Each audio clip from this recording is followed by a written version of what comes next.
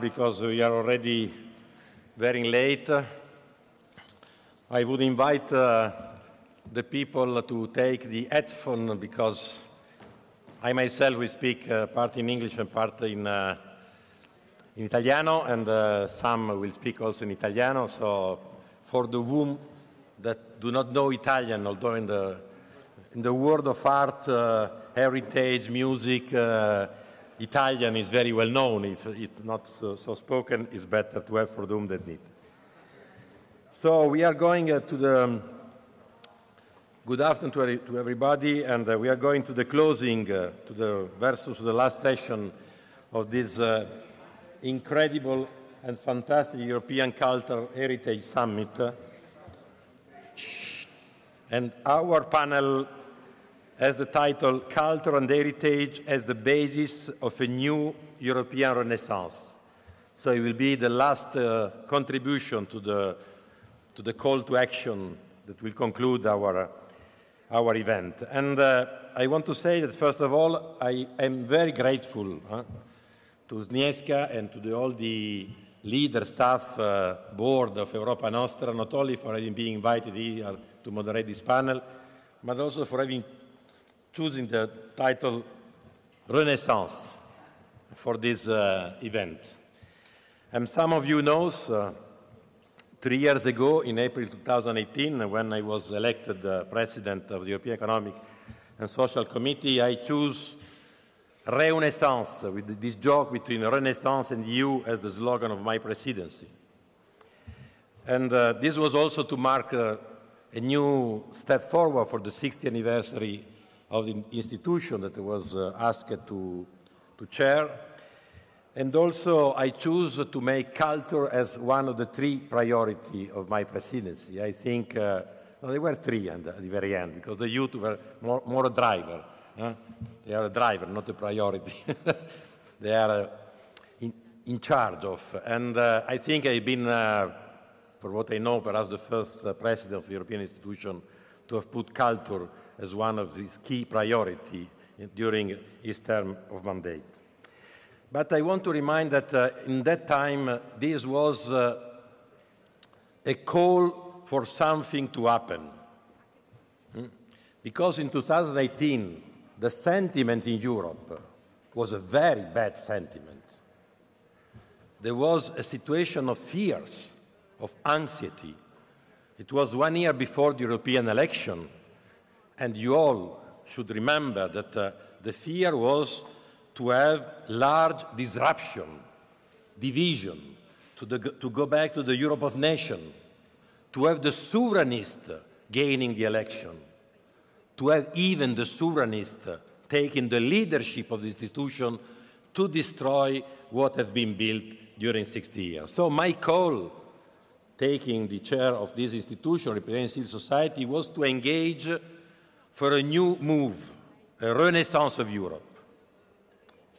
And my proposal was to dare to dream a sustainable Europe with a new narrative based on peace, fundamental values, SDG as the driver of change of politics, not one of the item to, to kick when you control politics, but as the driver of a new economy for Europe, and also rediscovering the force of EU humanistic roots.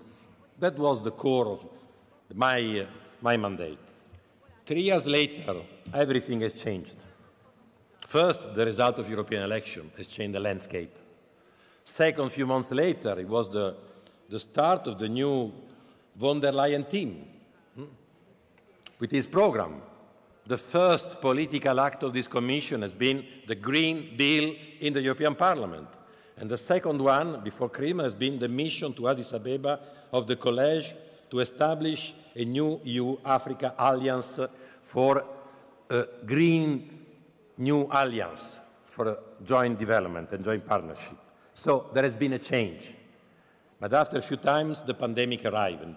And the big, the largest, the deepest crisis in Europe has changed everything and Europe was obliged to face uh, this enormous black swan that finally has become a new game changer, a new game accelerator. The response of Europe has been unprecedented in facing the pandemic, in terms of urgent measure, in terms of organizing solidarity together to organize the research and the production and the delivering of the vaccine. Solidarity has become the new key word of all the 27 governments together and in two months. Decision on what we call today as an ordinary bureaucracy, the Next Generation EU, the National Plan for Recovery and Resilience, with the Eurobonds. They are not called Eurobonds, but they are. So Europe is taking debt to finance this new has become the reality. So something unprecedented has changed. We can even say that the answer has been an acceleration of all the driver of change that the Commission von der Leyen had already announced at the very beginning of her mandate.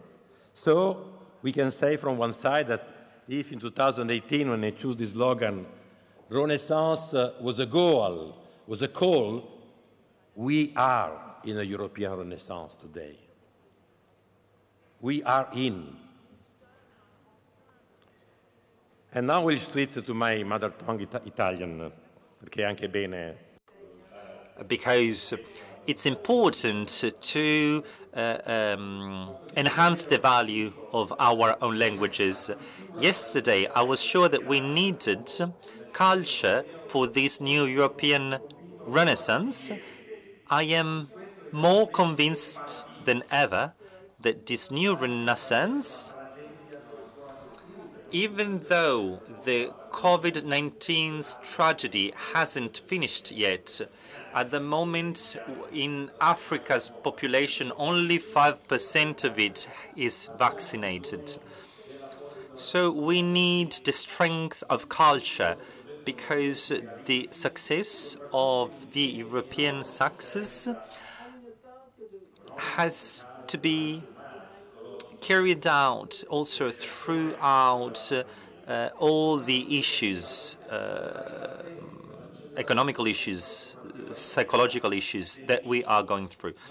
And um, also because all the all our steps won't be easy. Some of our steps will create uh, some division. So we will have to change our uh, way uh, to take action. And so now, for instance, telework is already creating some issues to many families. So we have to accompany these changes.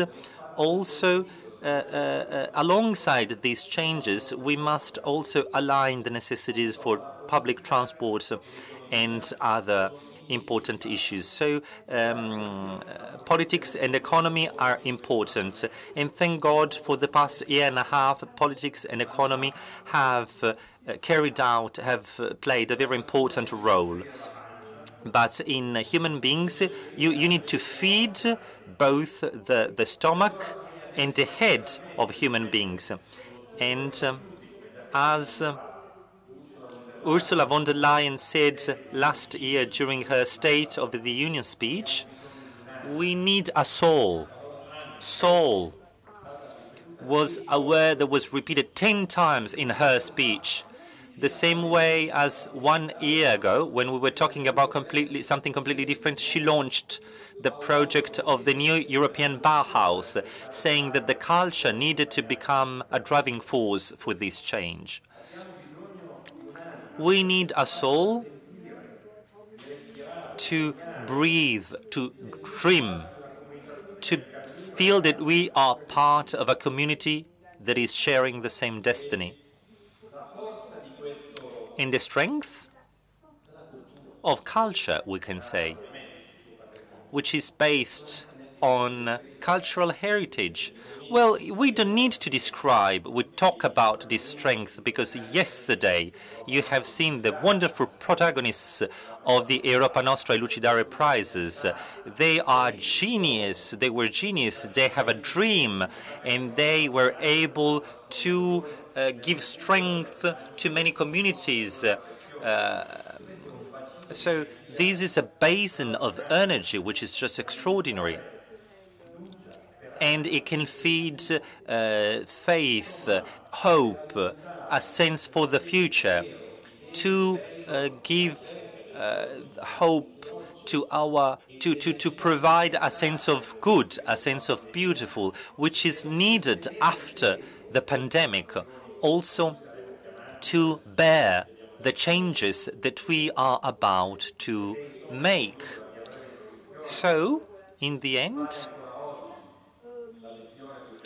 we learned a great lesson from a Roman architect, Vitruvius. We have to change our world, our economy, our rules, but also the spaces we live in, the spaces we dwell in. And Vitruvius used to say that there are three principles in architecture. So there are three criteria.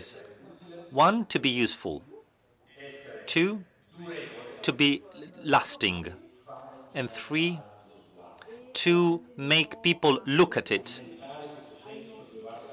This idea that you can look up, that you can look up to watch, to admire that piece of architecture, that architectural work.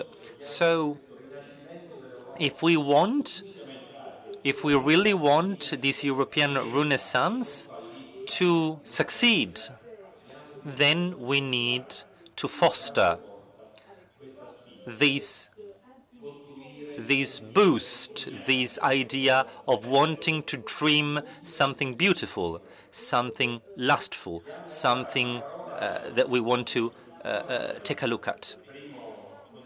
So the first speech is by Roberto Cicutto, who is the president of the Venice Biennale. I think that he will be online.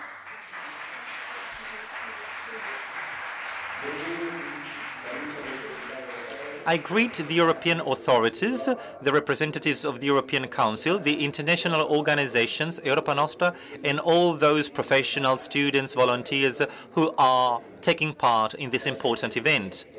The choice of Venice, a city that is a symbol of all the critical aspects of the contemporary world, but also an example of resistance and the ability to react in the face of events of global importance, gives us even more responsibility for the choices we will make in the future and requires us to reflect deeply on the role of institutions such as the Biennale, which plays a leading role in the cultural and economic development of our country and beyond, while respecting environmental sustainability and looking at all the ways in which we can live together. To paraphrase the title of the International Architecture Exhibition of the Biennale underway, ongoing until November 21st.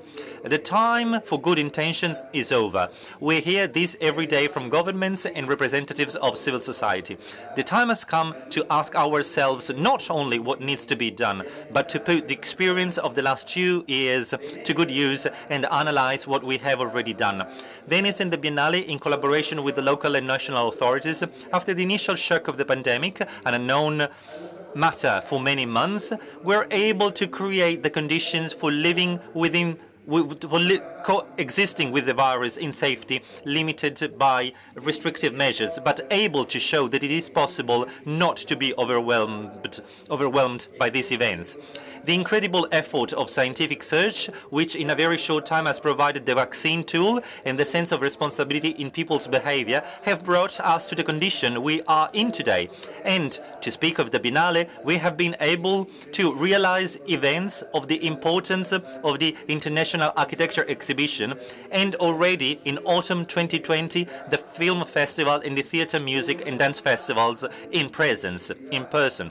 Like us, other public and private institutions have realized events of international importance in presence.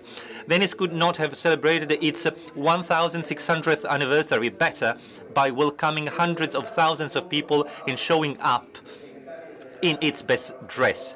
As Europa Nostra Secretary General uh, Mrs. Mihailovic said at the Bauhaus of the Seas meeting, we will not get a second chance to improve the present state of affairs. Venice is already partly so, but even more so, it will have to be a laboratory of best practices to demonstrate that the enhancement of culture and the beauty it preserves helps the, grow the growth of nations. And it is not the privilege of a privileged few and creates economic value for everyone, while respecting the planet and adopting transparent and certified processes to achieve carbon neutrality. The Biennale has started to do this with the film festival and will extend it from next year to all activities related to the other disciplines it deals with architecture, art, dance, music, and theatre. Thanks to the organizers of the European Cultural Heritage Summit 2021 for joining Venice in this important battle for future generations. Thank you very much.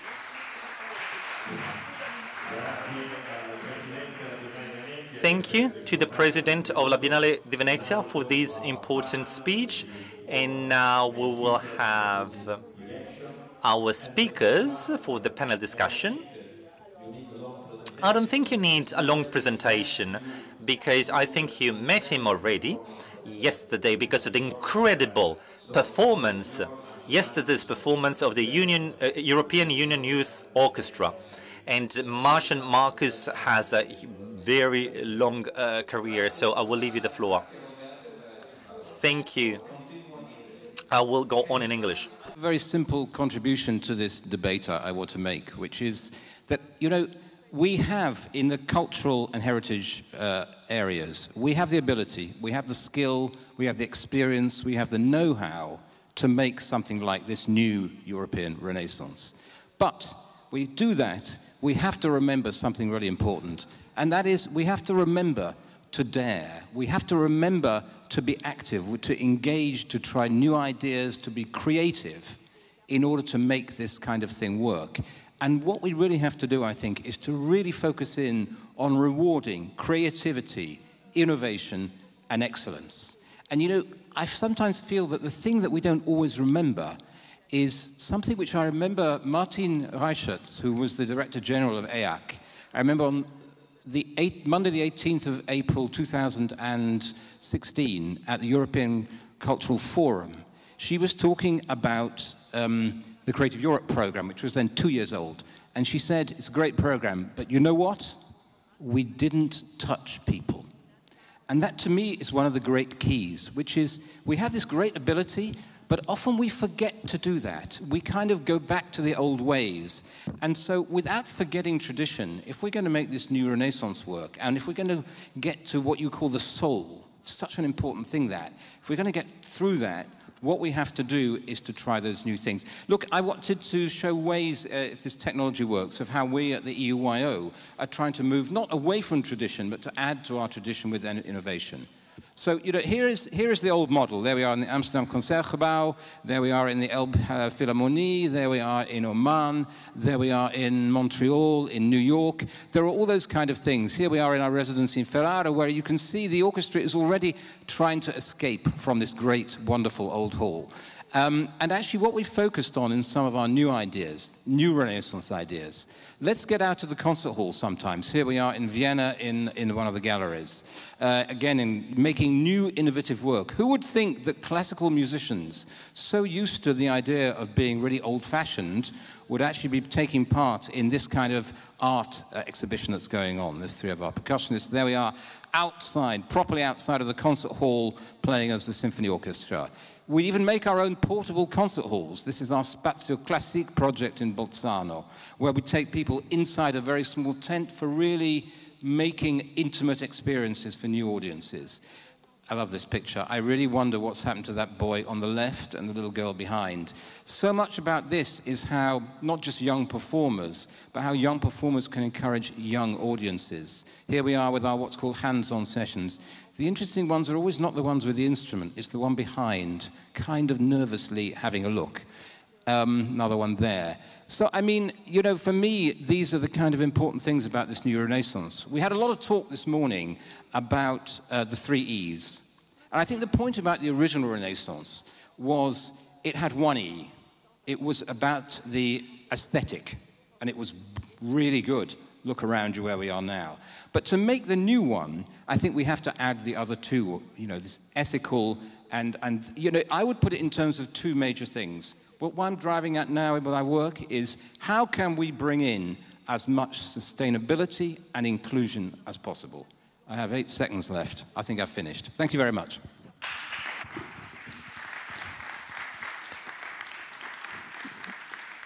Thank, Thank you so much, uh, Marcus. Uh, so keep the tradition, but go through the tradition, through the innovation, and you will build up uh, a new future. Thank you for this message.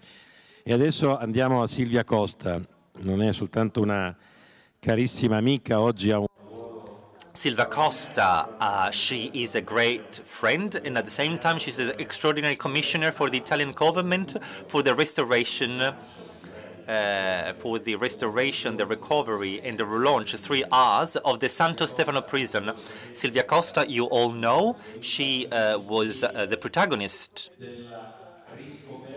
of the rediscovering of culture as an European priority and during her mandate as an European uh, Parliament member. Uh, and uh, so in, in 2019 she was chair of the Culture Committee and but during the year of culture uh, she did so much and also she helped increase the fundings for culture and also these the many funding frameworks uh, were established thanks to the activity and the, I would say the stubborn, uh, of course, I say this uh, meaning well, uh, the stubborn uh, capacity and activity of Silvia Costas. So, thank you very much. You have taken these very uh, um, hard enterprise. So, please tell us. This is this picture. Well, first and foremost, thank you for uh, this introduction, and I also thank Sneska, because Sneska is a metaphor of what the Europe of culture needs to be. I'm not a very diplomatic person, but today culture made it possible that we had here three people sharing the same goal, coming from different countries that have a lot to do with Europe, but have a lot to do with uh, conflicts. Uh, Sneska is uh, Serbian and uh, Dutch. There's the Slovenian minister, the vice president of the commission, and she's Croatian. And thus, I do believe that we here have the Europe that we want, and culture is the bridge, is the only possibility that we have to go back to the Renaissance that you were talking about. Yes, and he has the copyright of the word, not just of the word copyright, the, the, copyright of the word Renaissance, but you have the copyright for relaunching the word Renaissance. And also because uh, before you, everybody in the Commission would talk about economy, finance, growth, but there was no mention of culture. Well, every now and then social matters were dealt with as well. But it was a long path. Nowadays, I am an extraordinary commissioner, so I hope it's rather challenging, but I hope that I will be able to restore a prison that has 170 years of uh, uh, uh, history. And this was a strange uh, prison of the Bobonic family. And, um, and this changed also the way uh, um, uh, the, this changed, this Bourbon uh, uh, history changed also the way we used to regard human rights. And um,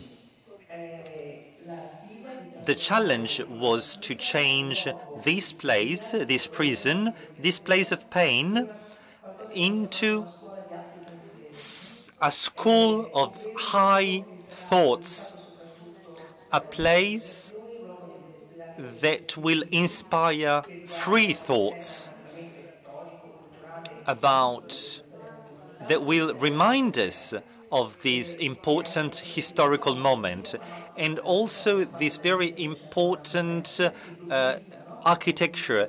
1797 was this uh, uh, panoptic structure, and this island was uh, like a hinge between north and south.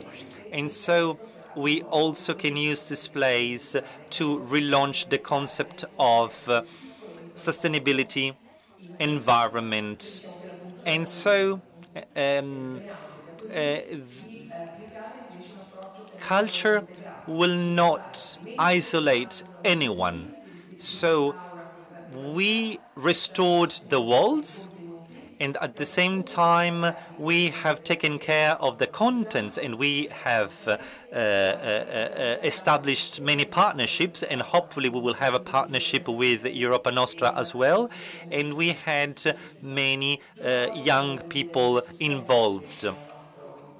So I would also like to speak about my experience as an European Parliament member. But now I have a new approach. And so I would like to uh, uh, call Erminia and Andreula and Sneska and Luca as partners, very important partners, because we this was possible thanks to all the institutions that helped out. And also we had we fought to protect the UYO and we made a big battle. And, and yesterday you saw uh, the uh, uh, European. Uh, we uh, we um, fought for the European Union Youth Orchestra, and you have seen yesterday how beautiful that orchestra is. The paradigm shift, we talked about this. Now we are living a paradigm shift.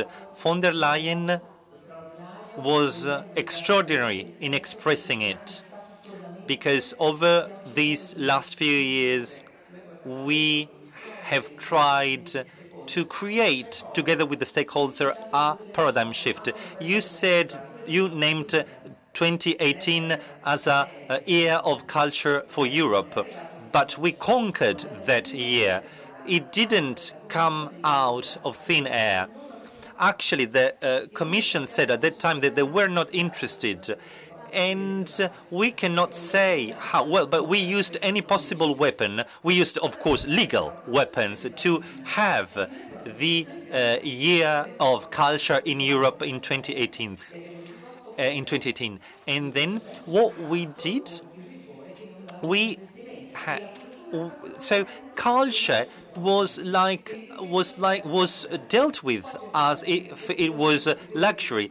But then we also lived the years of the crisis of terrorism, and I think about all our friends in Afghanistan. Now we need to be aware that still peace is not uh, in every country of the world. And also, we had in 2015 a crisis of cultural heritage because I remember that in 2015 we had to say that destroying deliberately cultural heritage was a crime against humanity. And also, we pointed out that we needed to invest in knowledge, uh, education, uh, and so on. The European projects would not be able to go on. So, the cultural heritage was a metaphor of the European Renaissance. And I think that, of course, here in Venice, we have a big example of this. And so, it is important to to give back a soul to Europe. And I have just one last appeal. I uh, share the Venice call for action that we will uh, uh, see at the very end. I know, Sneska, that you have a great ambition, and I saw the Vice uh, Commissioner early on, and we all know that this uh, conference is still very far from us. But you have to remember that uh, what we need to do is that we need to use this Venice call as an appeal so that in the next conference we will be able to give bigger space to cultural heritage and to create a real paradigm shift for culture, environment, and landscape, and in order to make it possible for the, uh, in order to give, in order to uh, have uh, cultural policies at an European level.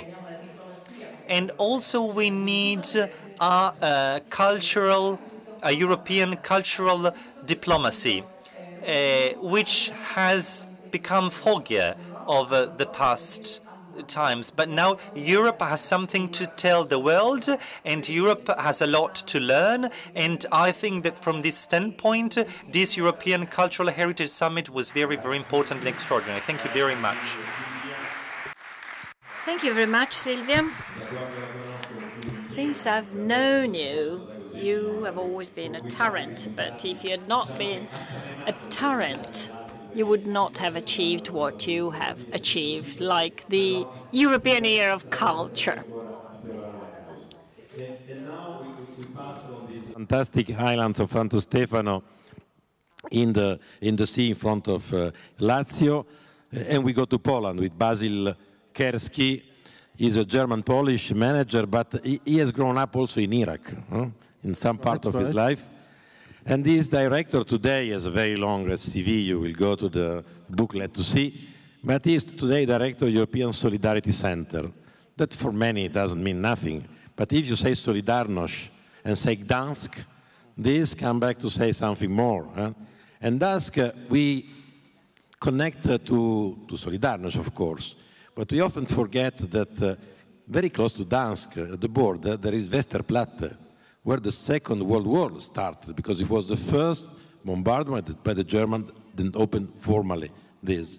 So from your perspective, with this background, yes. Gdansk background, uh, this Baltic uh, uh, reality, how do you see this challenge for European Renaissance and being in Poland in this moment where some issues are so much discussed concerning the rule of law, fundamental value, and so on?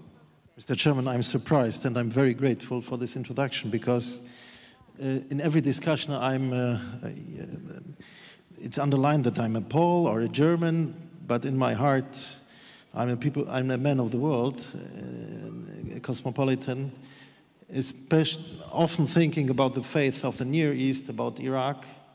So for this reason, for this universal reason, I'm working in the European Solidarity Center. It was seven years ago opened. You see your photo. Um, this is the area of the former Gdańsk shipyard, the birthplace of Solidarność. But the idea was not only to commemorate Solidarność, but all revolutions that took place in the 80s, at the beginning of the 90s, of also the history of the breakdown of former Yugoslavia to bring Europeans together. And we are not only a museum, we are a public institution financed by Polish taxpayers, not European, also European, Polish taxpayers, that tries to support new civic activities. And it's a Polish paradox, because we are often cooperating with those who are against our government, our president, and it's an experience full of tensions in the neighborhood to Russia, in the Baltic Sea area, so it's a very interesting uh, experience. Ladies and gentlemen, because English is not, not, my native language, I would like to share with you some very short reflections um, on culture in times of transition. Um, and I would like to answer to the question, is there a chance for a new revival? And these reflections are based on the experience of our team in this pandemic, post-pandemic times. Distance and closeness are two opposed feelings that cultural institutions got to know during subsequent lockdowns. Closed museums, galleries, theaters, operas, and philharmonics meant that culture became inaccessible. In the European Solidarity Center, we were deeply affected by our empty building. The pandemic has clearly shown that our everyday task is bringing people together, creating a non-commercial space for dialogue and disputes, generating a sense of bonding, but also discovering our differences. This fundamental function has been suspended. This experience was shared by all of us, museums and art institutions. After all, our basic mission is not about communicating and interpreting a work of art or providing an aesthetic experience. Our task is to strike a dialogue with another human being. We create a place for meetings and interactions where humans get to know themselves and others. We bring people together, causing a sense of bonding, even solidarity. Without people experience their civic identity. Without a meeting of citizens, we cultural institutions lose power. Yet this pandemic experience has also given us intense closeness, not just in virtual, but also metaphysical terms. Each person working at a cultural institution has felt an intense longing for our public, while our visitors have missed us and our programs. Online activities have not been able to substitute positive collective emotions in the open space of our institutions. The experience of the culture's importance during the pandemic gives us strength and a sense of self-worth. Throughout the long period of isolation, music, books and films became a refuge for people, adding meaning to our daily lives. Without culture, we would have experienced only an existential void. But culture is not just a refuge. Our task does not end at healing the wounds of loneliness. Culture has another more and more significant mission. The global pandemic experience may strengthen our thinking in supranational terms. Unfortunately, it may also cause reverse reactions, the urge for collective isolation, distance from others, growing importance of nationalism, and authoritarian longings. In recent years, like many cultural institutions and artists, the European Solidarity Center has opposed the destruction of rule of law and democracy in Poland and other European countries. As a consequence, public grants for our institution have been cut dramatically.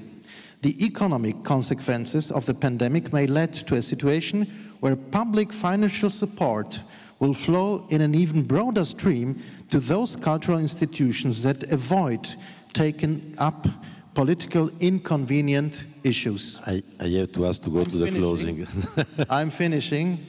Let's not forget that the key task of cultural institutions is to support people during the journey through the post-pandemic transition. We should and we must act as guides, leading societies towards a democratic, pluralistic reality founded upon universal human rights. These rights are always in danger, especially at a time of civilizational transitions. We need to deepen our global bond and the shared responsibility for the world, our responsibility for humanity as a whole, and not just our own ethnic community in order to defend democracy and human rights. Ladies and gentlemen, culture blossoms when it defends universal ideas. In these challenging times of transition, we, the people of culture, must stand by our universal values. And we must be brave. I strongly believe that due to our faithfulness to the idea of solidarity, culture and arts are seeds of a new revival. Thank you very much. Thank you so much, and thank you also, and congratulations for uh, the effort that for sure you have to recognize you are putting to continue to work for an open society as culture feed always in a difficult situation what you are living uh, in Poland today, not to say more. Now from uh, Dansk uh, we go south again, close to Venice, and we go to Croatia. And uh, the President von der Leyen has made a very strong call for starting from youth. And I'm very happy for this because it was also a call during my presidency. But for them, she also has claimed for another European year for youth. So now the European year, they were cancelled. You reach for culture, but now underline big for youth. But youth is not only a question of an European year, of course. So from your point uh, of view, you are a project assistant in the Culture Hub of Croatia, European Heritage Youth Ambassadors, already very engaged uh, in this. Yeah. How do you see this uh, so-called renaissance uh, from this and from your perspective? Uh, well, thank you. I'm so grateful to be here, uh, first of all. Um, well, I think that for this debate, for the new uh, European Renaissance, I would like to put forward um, the importance of youth engagement and the participation of, um, of course, young heritage and cultural professionals that they have in this future of uh, European shared heritage initiatives. Um, for me personally, when I hear the, the phrase New European Renaissance, um, I think of uh, you know, initiatives, actions, and policies that um, put forth our kind of uh, shared heritage um, similarities, European similarities, and the strength that we have when we put forward our similarities together and our collectiveness. And I think because of this, we need to recognize that youth has the need, I think, to feel um, included in this collectiveness. And I think that for us as young people, we need to feel that we that our voice wants to be heard, but also that we are valued enough and appreciated enough to take care of our shared European heritage. Um, also, what I wanted to mention um, is that it's, of course, it's one thing to say that we want to take care of heritage for the future generations, for young people, but I think it's also important to say that um, we want young people to participate really right now to start learning in their younger years and also participate with the knowledge, different kind of knowledge that we as young people have. For example, with digital transformation, we basically grew up in that area and we can combine those two different things and you, and also languages, of course, um, to to bring forth this um, appreciation that we have, but that maybe we want to feel recognized as well and really included. Um, but also, um, I think when this happens, that then we can feel the true spirit of this new Renaissance when we um, take into account the past kind of knowledge that is being passed down to us. Um, and then we put it forward into a new framework that works for the present right now. And um, we take it into a better future, a future that um, takes care of its heritage and its past and its collective memories, but also that knows how to answer um, actively to the challenges of today's society, the ones that we've talked about this morning, you know, climate change um, and things like that. So um, I think all of us young people were really thrilled when we heard uh, President uh, von der Leyen to announce the next year, 2022, as the year of the European youth, because I think that will come to fruition as many different programs that are really facilitated um, to give us um, knowledge, but also practice to do and to learn so that we can when we come to later years that we are prepared and to know what we're taking on. So, um, yes, I think youth can bring a new dynamic and a new dimension to this, um, especially, you know, as I said, when it comes to digital transformation. Um, but this, when we come over this intergenerational um, transmission of knowledge, when it happens, um, I think that's when it leads to a really promising future that all of us are really excited about. And for example, our program, the program that we're in right now, European Youth Heritage Ambassadors, that is facilitated through Europa Nostra and ESACH, um, it gives specific um, things that we can do. It gives us specific um, organizations that take care of us, and it gives us specific um, channels to direct our voices in. So yes, we're really, I think we're all really excited for next year and for a better future for us. Thank, Thank you. you. so much, Anna Kohout. And uh, we, we hope that you will become very soon, uh, you pass from being a youth ambassador to a youth leader of this European Renaissance. And perhaps should be good, uh, uh, because today you are in a more important position to suggest to von der Leyen for this European 2022 not only to have space for the youth to be heard, but to establish perhaps also youth as a special envoy for this uh, youth uh, here. Eh? She already received Greta Thunberg. Last plenary, she invited Bebe Vio. So it seems that she has some uh, attention to this dimension of a young regard to the future. So thank you. And now we go to two reactions. The first is uh, uh, Marco Ros. So we go back to an institution. And before being a Spanish member of the European Parliament, uh, he is also a professor of uh, the School of Architecture in Cartagena, so he, he has a background that has a, a, lot to do, and perhaps he is, due to this background, that he has been one of the first mover and one of the founder of the group of, in the European Parliament, of the Friends of the New European Bauhaus. So thank you for being with us, and we will listen to your reaction. Thank you. Grazie, grazie Luca Thank you very much, Luca, for this presentation, and thank you very much, Sneska, for this fabulous conference. Unimaginable. Of the parliament and as an European citizen, but above all because of my training as an architect, I am aware of the importance of heritage and its conservation, which supports dissemination and contributes to enhance European values. The European Union has shown its commitment to culture and cultural heritage through the adoption of a new European agenda, agenda of culture and its implementation through a new work plan for culture, whose first priority is sustainability in cultural heritage. In addition to the Creative Europe, that we all know, initiatives such as the European Capitals of Culture, the European Heritage Label, and the European Year of Cultural Heritage, thank you, are projects that put cultural heritage at the center of the European Union policies. But perhaps the central project that brings us here today, and for which I have been invited to share with you, is the New European Bauhaus. The truth is that for me, it is an honor uh, and a great coincidence that in my first term as a member of the European Parliament, I had the pleasure of working on this project.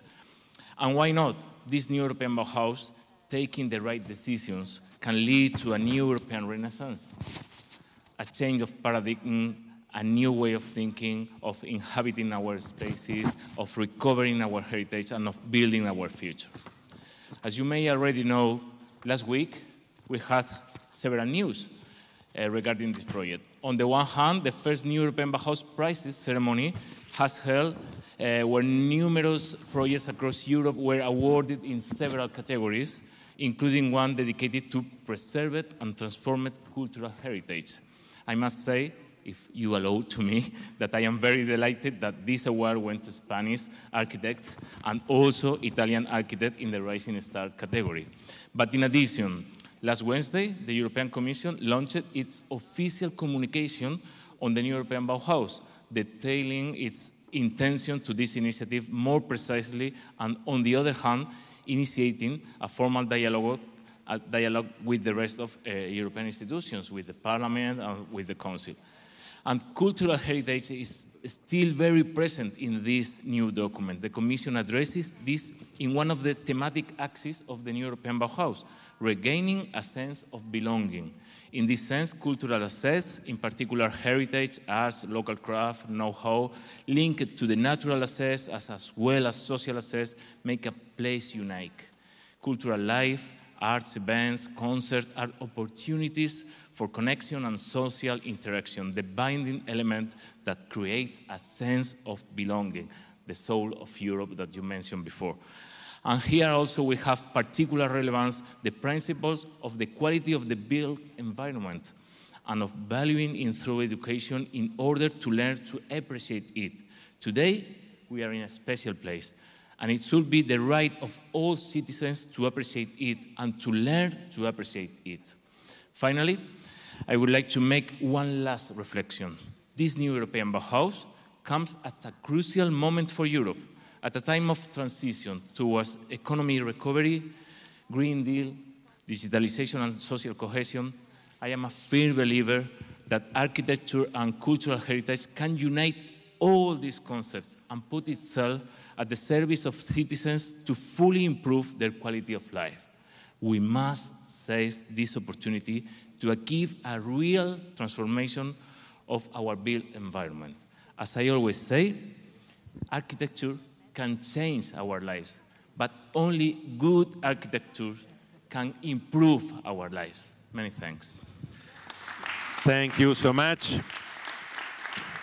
So, the inspiring criteria of this old Roman architect Vitruvian have re-echoed through your words. And now we go to the conclusion of our panel with last but not least, because you, you have been uh, a master for many of us. Andre Wilkens, uh, director of uh, the European Cultural Foundation, but uh, you had a very long career through the Commission, the Parliament, uh, the United Nations High Commissioner for Refugees, and many others. Uh, so you are claiming for a very long time for culture becoming a new, open, large, recognized driving force, uh, vector as now we are used to say, um, driving force for Europe, uh, the solo Euro. So how do you feel today that uh, something has been gained, but still there is perhaps a lot to be done? Well, thank you. Um, first, um, I, I, feel good. So you asked me how, I do, how do I feel? I feel good because it's been, it has been a great conference, and I'm talking about the three days, actually starting with a discussion on Baukultur, with um, um, David Chipperfield um, talking about uh, architecture and what for. But uh, yesterday we had a, a roundtable on, on the role of philanthropy, and then uh, today, and the concert, of course. So it's, it's been a great conference. Um, and also, and I don't know, maybe I can say that here entre nous, uh, I used the time here in Venice to, to go to the Biennale. And uh, it's, it's been great sorry, Sneska. So I, I slipped out, um, and and it it. It, it was a great, I, I think it was a great Biennale. And if you, uh, why do I feel so great? Because actually I feel like the mission of what, what, um, what our foundation stands for, the European Cultural Foundation, to grow a European sentiment, has been discussed nearly by everyone. So it's, it's, it's not that we want to create a, a, culture for its own sake, that we're talking only about culture as such. We're talking about what can culture do. Culture can create this European sentiment, can even create a world sentiment, can even create a sentiment of saving the, uh, uh, the, the, the earth from, from climate crisis.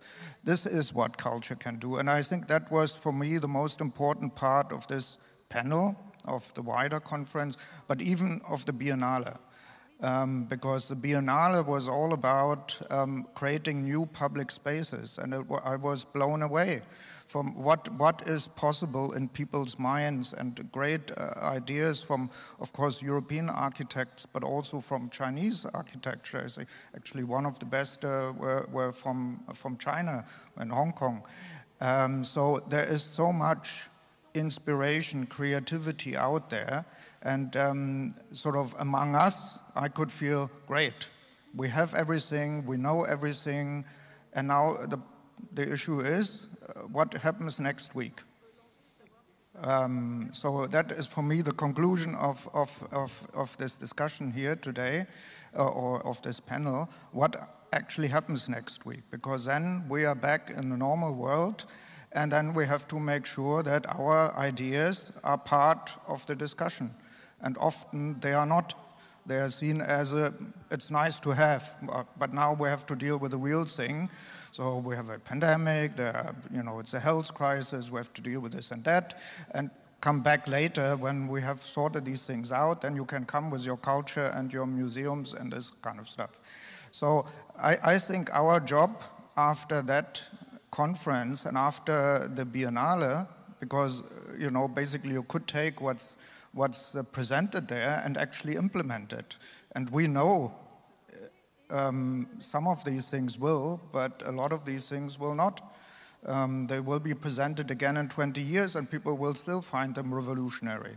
So um, how can we make sure that these great ideas from this conference and from the Biennale and from other things we're doing actually make it? And, and uh, when I was thinking about this, and that's why I made some comments on my um, digital device. Um, uh, I, I, said I was reminded of this uh, slogan, Intel Inside, um, which is basically a chip. Uh, does Intel actually still exist? Probably, yeah. So Intel Inside. So how can we make culture inside everywhere? Um, so I'm think thinking actually you can even play with words. A culture of solidarity, a culture of climate action, um, a culture of belonging, a culture of sentiment. How can we make that happen? I think, and that's for me the connection between what this discussion is and the, the bigger purpose. The, the, the new European Bauhaus is, is one of the examples how it could happen, but I wish actually it would not only be the Commission who says this is a good idea, now go ahead and do it, but that the European Commission and the governments would actually think in the Bauhaus deal. And, and, and Bauhaus method. And that means not only politicians sitting together coming up with good ideas, or, or bad, or, or mediocre, um, but uh, getting the architects, getting the, the artists, and getting the, the people on the shop floor, getting them involved in designing things. That would be the Bauhaus method uh, in politics. So I think these are some of the things which going through that. I'm only the kind of commentator here, um, so I'm, I, that's what my comments is. For me, the, the, the idea, the project starts tomorrow, um, and on Monday, let's have a weekend, um, and, and how to get these great ideas into action. And uh, with, with uh, Europa Nostra and Culture Action Europe, we work on an idea of a culture deal for Europe. So that's actually, in a way, get culture inside. Thank you. Thank you so much, Andre. You are always uh, so capable to make uh, a summary of what matters the most, uh, what will happen tomorrow. Not, uh, of course, first of all, something news is there because just with Silvia was reminding to me that uh, for the first time we have the G20 culture that has made important conclusion. That's uh, it's something that lasts. We have, as you mentioned, the, the NEB was not only a dream of Ursula von der Leyen waking up uh, in the morning for the State of the Union September 2020. It's become a project. And when I saw that uh, not only the president, but two commissioners were engaged, Mariya Gabriel and Elisa Ferreira, that manage a big portfolio. Huh? All the regional and the social funds uh, that she wants to direct in this direction. And now the new communication that establish a real uh, roadmap for the future, that is exactly in this sense, not give money to the architect with all the respect to rebuild, but make a participatory process uh, to rethink and rebuild the, the space where we live, because as the trio used to say, architecture is not organized the physical space is again the space where relation happens. And that's what matters today. We have to rethink this space and fit the values. And after, we will have the call to action of Venice that will conclude our three long days. And so I conclude here and will pass the floor to Sneska because now it's up to you to go in the closing panel with the Venice call to action because this renaissance has to happen and has to be a good renaissance and not the anti-camera of a new nightmare. Thank you.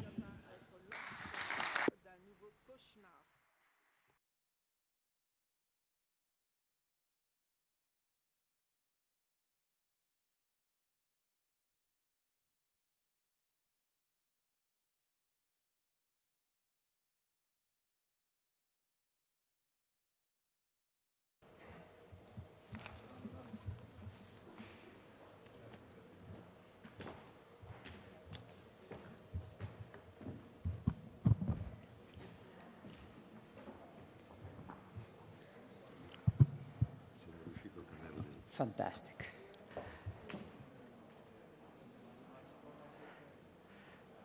I'm simply catching breath. There is so much energy. There is so many ideas, so many positive uh, contributions uh, that I, I, I, was, I was just thinking, how are we going to get this to close? Uh, and, and, and you know, how, in one day or in one week, how much, how much energy can you digest? Um, my first thanks is, is a thanks to all of you uh, for having contributed to what has happened um, here in Venice. But before sort of giving you my closing uh, message, uh, we still have a series of very prominent um, uh, contributors.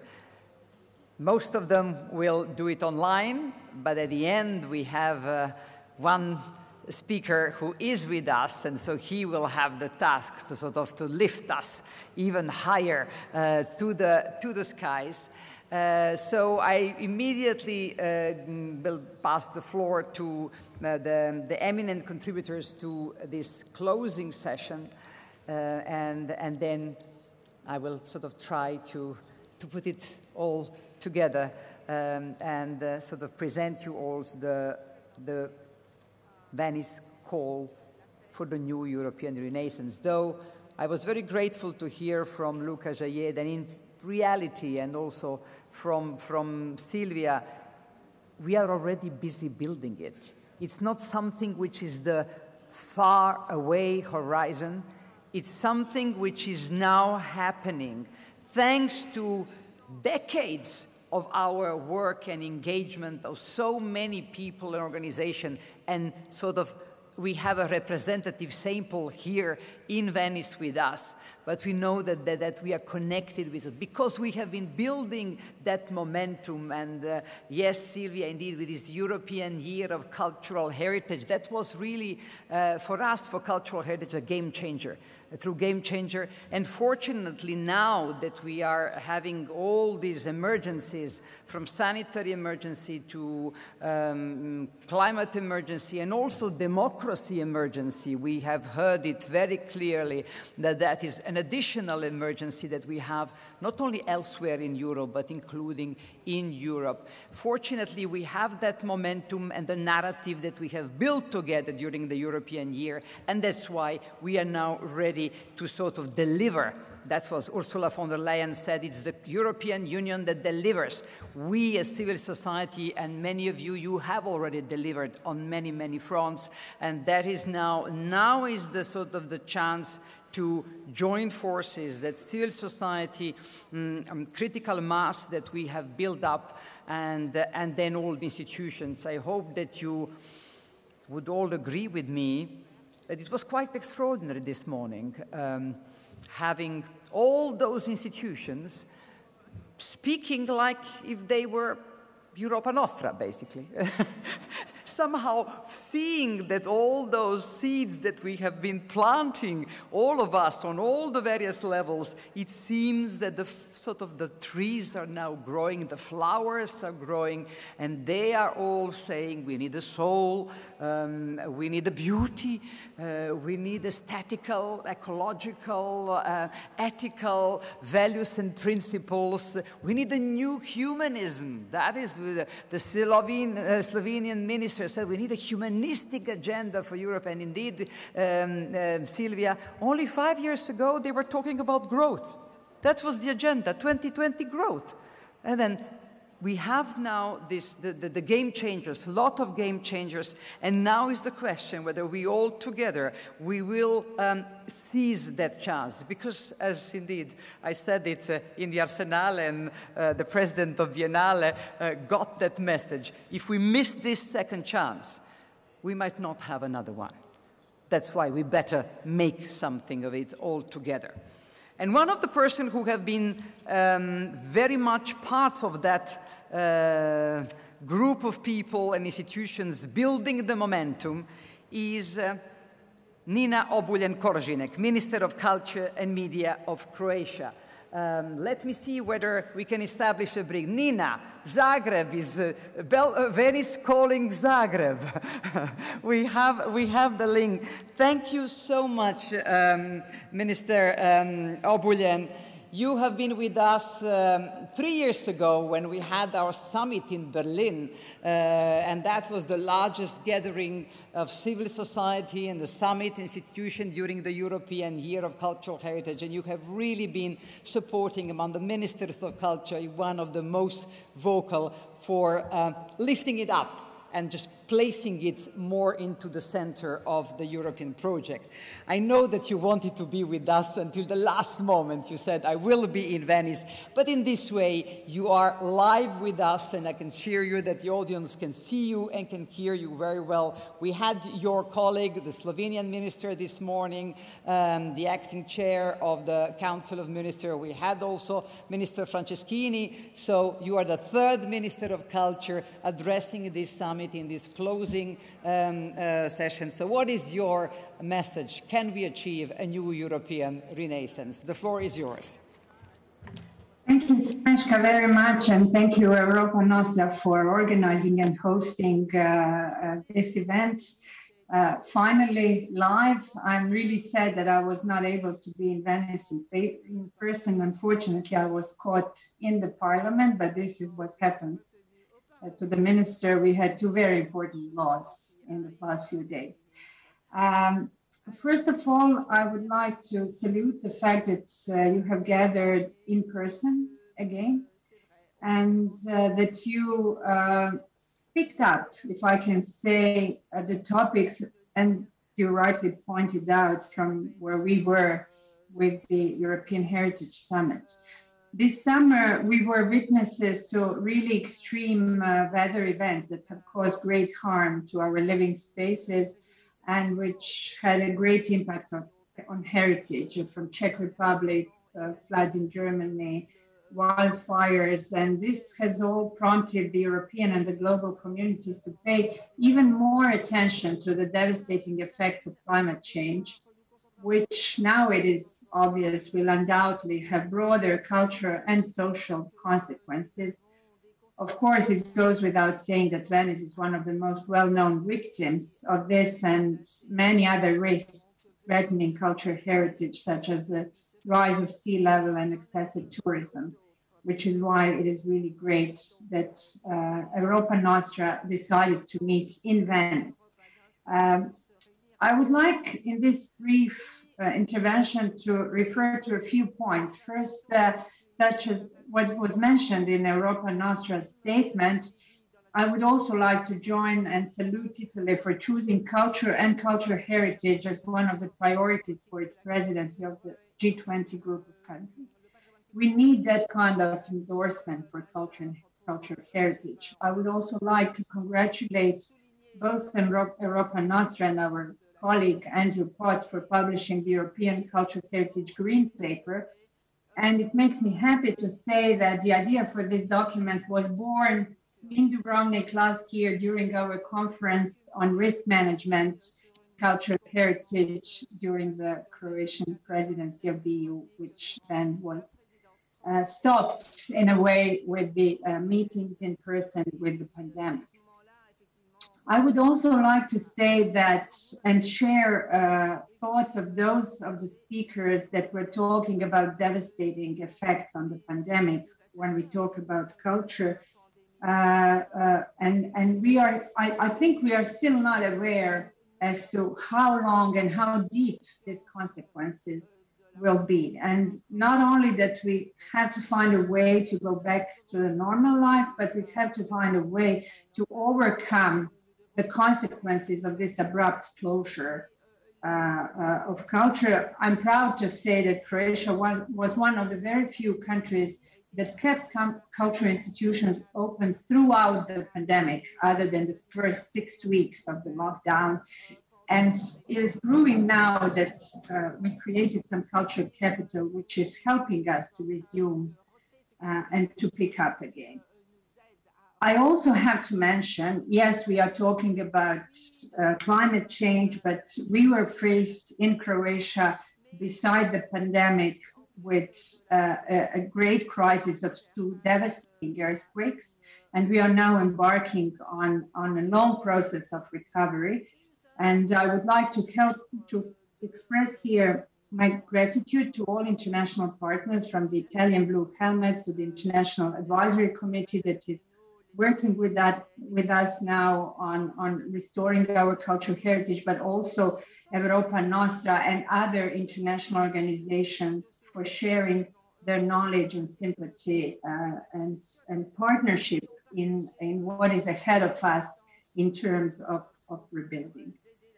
Uh, this brings me to another point, uh, uh, which is a question of financing, which is always something that, uh, as a topic, you are endorsing in your forums the importance to find appropriate, important place for financing for culture, uh, and to find for that uh, uh, within all EU institutions. I'm always there as the minister, as the member of the Council of Ministers with advancing uh, the importance.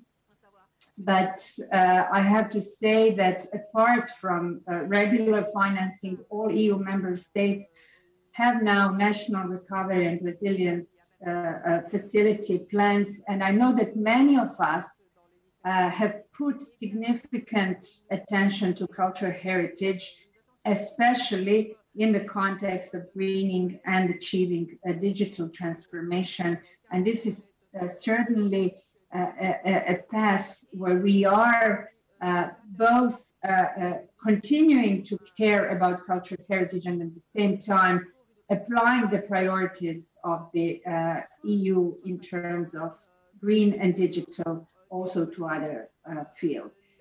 So let me conclude by saying that the question that was presented to us for this uh, closing panel is in fact how to unleash the potential of cultural heritage for Europe's society, economy and environment in a post-pandemic future, which is a formidable ask that requires togetherness and true collaboration at all levels and across disciplines, sectors, borders. Events such as the one that you are hosting uh, give us much to think about and reflect, reflect upon. I was only following the, the last panel, but my colleagues told me about uh, uh, the debates uh, during the, the day. The intention of this summit is to contribute to the new European Bauhaus and the Conference on the Future of Europe, which are, I'm sure we all agree, both wide ranging and ambitious projects which must not overlook how significant culture and cultural heritage are for our society, especially when we think about the future of Europe and the world. We must put forward culture and heritage. They reflect our values, our histories, our civilization. They are the basis of everything we do. They provide reassurance in times of crisis, particularly when we talk about war-stricken regions they are agents of peace and have the power to bring people together. They inform our answer to climate change and underscore the value of knowledge and skills on the verge of being forgotten that may help us in managing risks. Learning culture and learning from culture from the very young age ensures that our citizens are self assured, aware, and vigilant, and that they will protect and safeguard what they inherited and pass it on to the generations that follow. And I believe that the new European Bauhaus is a step in the right direction if it's in, empowered, inspired but by what I have described. Putting emphasis on local communities and local levels, embracing participatory governments, and giving the voice to the citizens, raising awareness and intertwining culture and education this will all make us re examine our contemporary beliefs and return to a more organic, more traditional way of thinking, to reuse and transform rather than demolish and start anew, to find proper balance when it comes to using digital, digital technologies. Luckily, we have the young generation by our side that is a great asset. They are those who are going to take over, they are conscious, they are observing, they are active and willing, and especially when it comes to climate change. This is something that they have lived with their entire lives. So, what we must do, in my view, is to continue to advocate for this cause, to make culture and heritage explicit and not implicit, to highlight just how much they are vital to our economies, employment, and environment to participate in culture and to safeguard heritage is to create, innovate, cooperate, and communicate, which is very important. So let us continue to exchange experiences and share good practices. Let us continue to build capacities, transfer knowledge, and break silos. Interdisciplinary collaboration is a prerequisite to achieve our full potential and to contribute to our well-being in its every aspect. Thank you very much.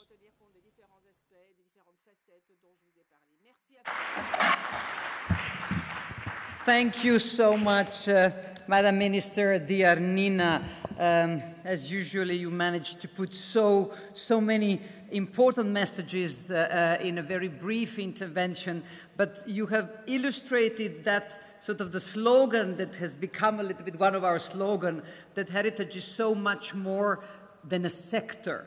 It is a vector for achieving so many objectives and strategic priorities from the green transformation, digital transformation, climate action, uh, youth, involvement of youth, uh, uh, peace building, so all these elements. So that has become, has come now, as you said, I liked it very much when you said, make heritage explicit and not implicit. For too long, it was a sort of, uh, it was a sort of we, we, we took it for granted, but it can't be taken for granted. It needs a proper care and proper investment and proper place among the priorities. So thank you so much for being with us.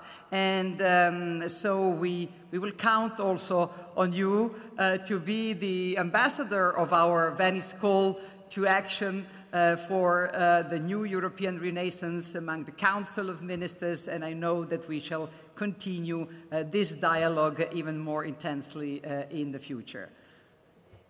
Thank you for this opportunity.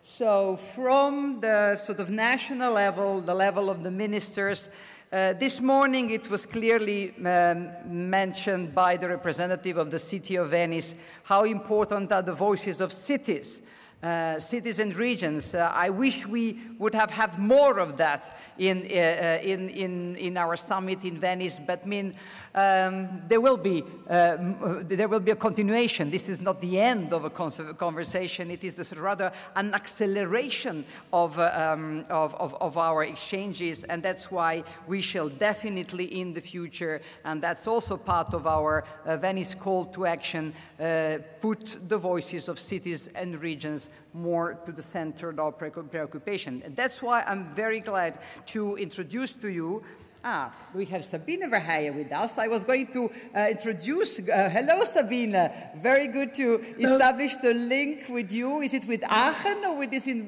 with Brussels? With Aachen. It's with Aachen. It's Aachen. Uh, fine. Since we have you, we'll, we'll go to the video message from uh, from the uh, Committee of the Regions after you. We we have you already on screen. So welcome, welcome the European Parliament. Extremely important ally in this sort of momentum that we are building and you have been, you took over from uh, Silvia Costa, who is with us here uh, in Venice uh, as the chair, very forceful chair of the Culture and Education Committee. You have been with us on so many Zooms conferences in the pandemic. I am glad that in this way you are live also with us in Venice.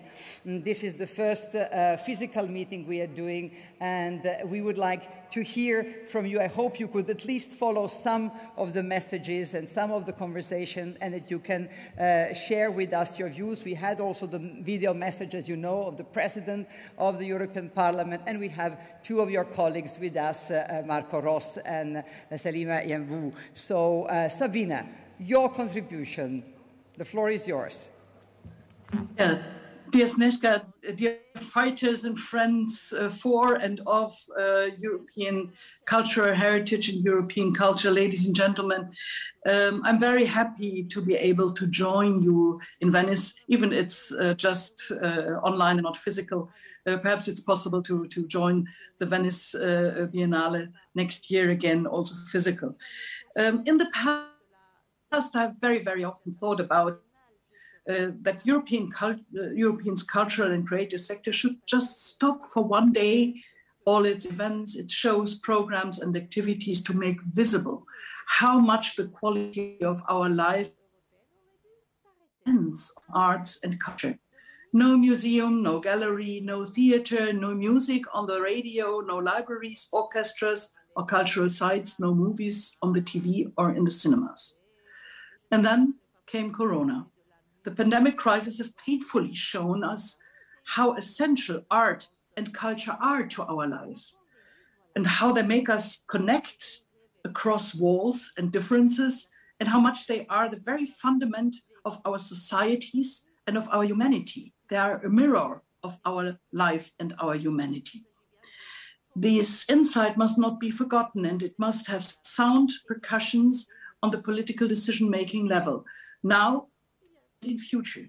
And there is no return to the old normal, but an opportunity, a necessity to rethink the value and centrality of arts and culture to us individuals, communities, nations, and the European Union. In the search for a European identity, culture is often referred to as a connecting factor. More precisely, it is said that Europe's cultural diversity and our cultural heritage is a connecting factor in accordance with the EU motto "to it in diversity. The common cultural heritage that connects us and holds us together, our common cultural roots and experiences, and we need to cherish and protect for the generations to come. This year, as Europe is embarking upon an arduous path of recovery, the European Parliament has adopted a report that emphasizes the multiple value of our shared cultural heritage and stresses the need for an integrated EU strategy towards cultural heritage with stronger synergies between various stakeholders, policies, projects, and funding programs to fully unlock its social, economical, and environmental benefits. And the European Year of Cultural Heritage in 2018 was an unprecedented celebration of our shared cultural heritage and values, as well as a wide mobilization of heritage actors across Europe and beyond. Organized as a bottom up initiative, it engaged 12.8 million citizens through more than 30,000 events. And on this, we should build. We need to build bridges between science, innovation, the cultural and creative industries, and the cultural heritage sector to emerge from this crisis. And these are unique resources that characterize uh, Europe and allow us to transform and to find solution together. Only if we work together, we can be stronger and more united. In this spirit, the Commission has launched the new European Bauhaus movement, a space of collaborative design and creativity in which architects, artists, students, system scientists, engineers, and designers work together to realize this vision. A process in which pilot projects in the EU will be selected in the upcoming months, and which interdisciplinary thinking about the world of tomorrow will then take place, and it's already taking place.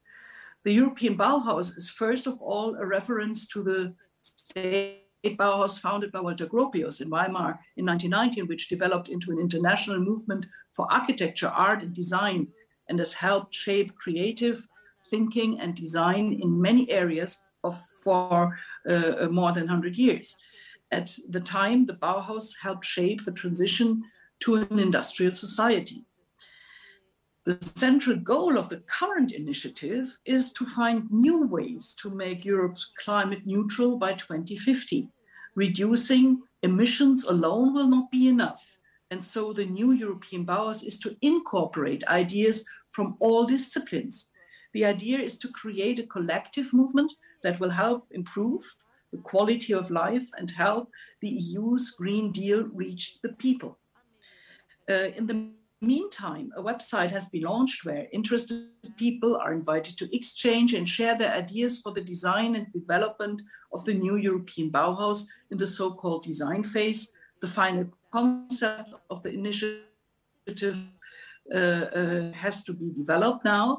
And to this end, ideas have been sounded out, the most urgent needs identified, and interested parties networked.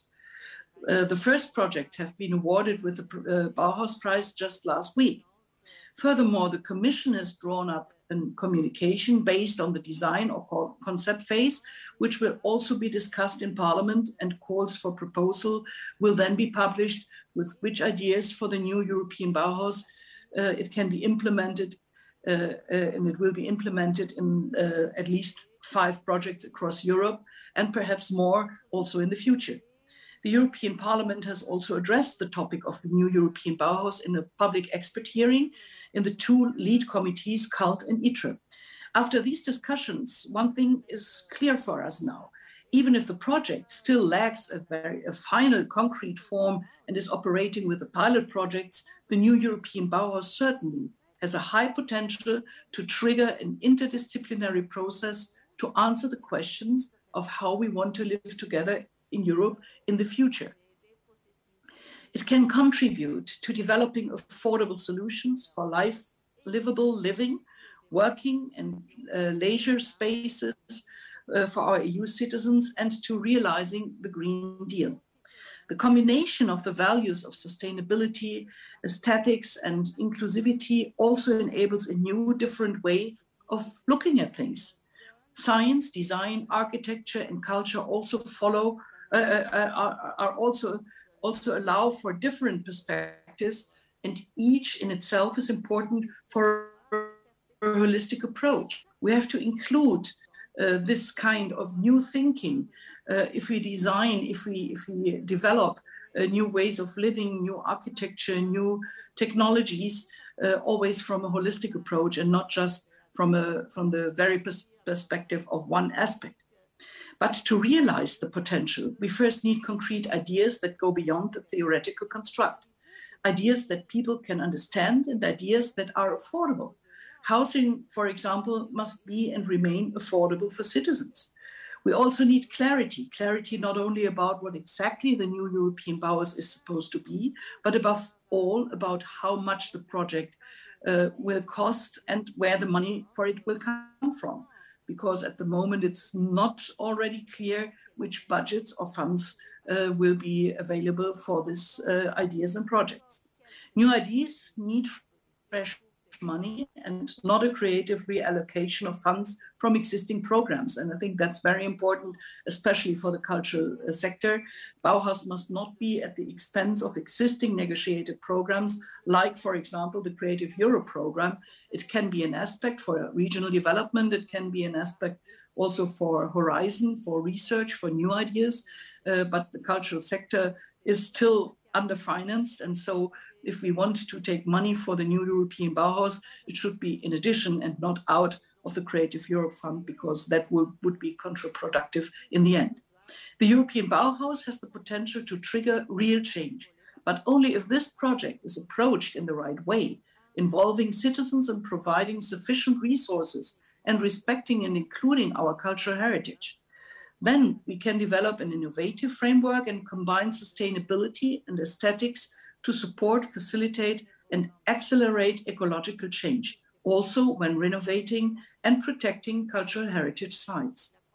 If we can build a real bridge between the world of arts and culture, including our cultural heritage on the one hand, and the world of science and technology on the other, we can trigger systematic change. The new European Bauhaus is about how we live together, about our values, about our shared spaces of work and leisure, about our collective and private experiences. It is meant to be a project for all regions in Europe. By promoting affordable solutions, it aims to contribute to social cohesion. It is a great opportunity to actively address the relevant issues of the past and present and to shape our common shared future. I wish this initiative a great success it can succeed if we all participate in the transformation. Here in Brussels, we will certainly continue to work on the cultural and creative recovery of Europe, but we must join forces and we must actively include the young generation of Europeans. Together, we must continue to promote the importance of culture and cultural heritage for our society, and not only at European level, but also at national and regional level. The upcoming European plays a very important role in further promoting our common European values and heritage and preserve it for the generations to come. Culture is not self-evident, quite to the contrary. Together, we raise awareness for the power culture in Europe in all fields of politics and not to take it for granted or take it as a niche for a nice to have. It is a fundamental structure for our societies, for us as human beings. Many thanks.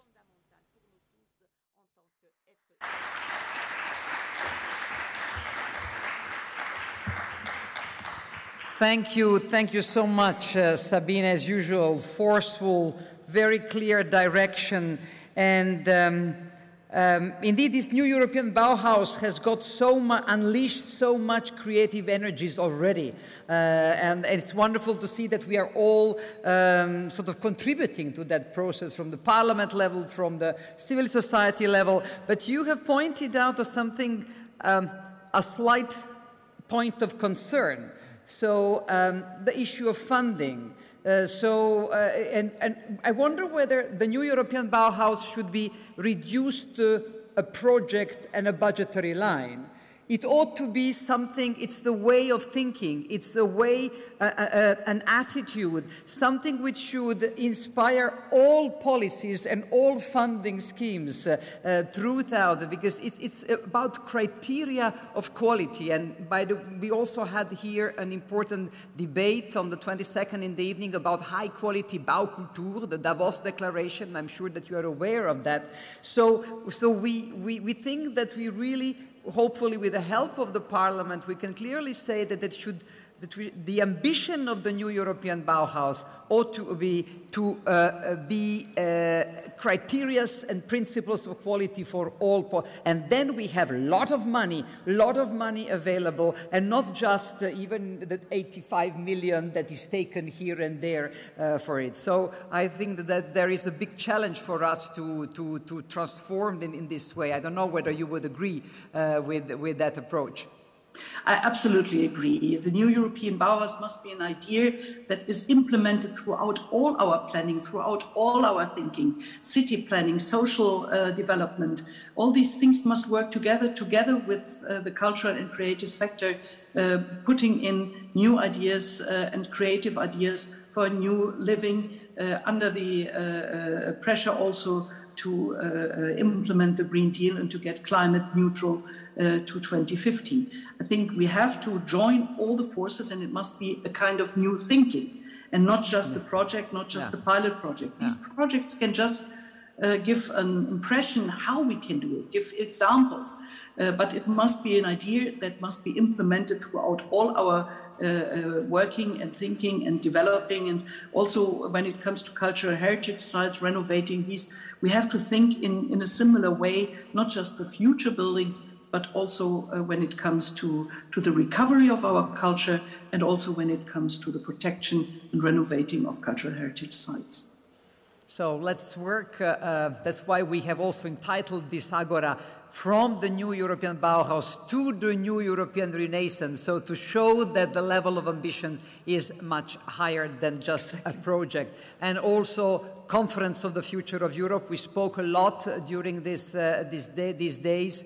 Um, we don't yet have a fully representation uh, of the cultural world in the, in the plenary of, of, of, of, the conference. So through the European Parliament, hopefully these voices and these messages uh, and the delegation of the European Parliament in the conference of the future of Europe, we hope that we can have these messages very clearly heard and understood.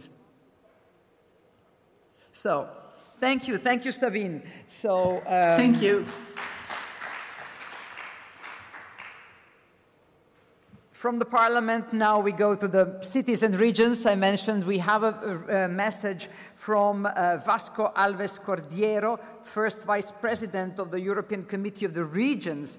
Uh, they absolutely wanted their voice to be heard uh, in this summit, in this Sagora, so I kindly ask you to show the video. Ladies and gentlemen, dear friends, the European Union is united on diversity. This diversity is also the cultural diversity of its villages, cities, and regions. Promoting and protecting our cultural diversity, as well as our common European cultural heritage, is a priority. Part of that heritage is the Bauhaus architecture style, which brought together form and function. The new European Bauhaus initiative goes further by connecting aesthetics, design, sustainability, and social inclusion, inclusion bringing together architects, designers, engineers across our regions. it also adds on the essential spatial dimension that is represented by our dy- dynamic villages, cities, and regions of the 21st century where people's needs have evolved and changed.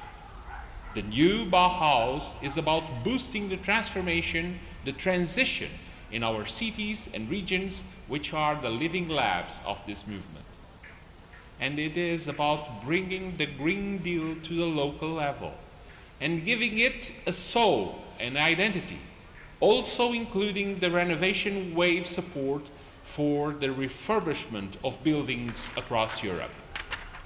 In these times, this objective is key to building a better future. The new Bauhaus movement is an opportunity to harness the creative potential of our regions and municipalities. It is about involving citizens, communities, businesses, and academia in the co creation and transformation process. Therefore, the new Bauhaus project must be built bottom up. Its success and results depend on it. Indeed, after the trials and tribulations caused by the financial and economic crisis, and most recently and up to now by the pandemic, it is time for a new beginning for Europe. The new European Renaissance must be committed to be a period of innovations in art, culture, research, economy, politics, institutional architecture, and law, getting Europe out of the tunnel and making it stronger. This is exactly what we hope for also from the Conference on the Future of Europe. The European Committee of the Regions joined forces and therefore is your partner in widening this outreach at the local and regional level to bring concrete benefits to our citizens and to enhance their feeling of local and European community. Let us join forces to deliver together on this environmental, economic, and cultural endeavor and to make it work. Thank you.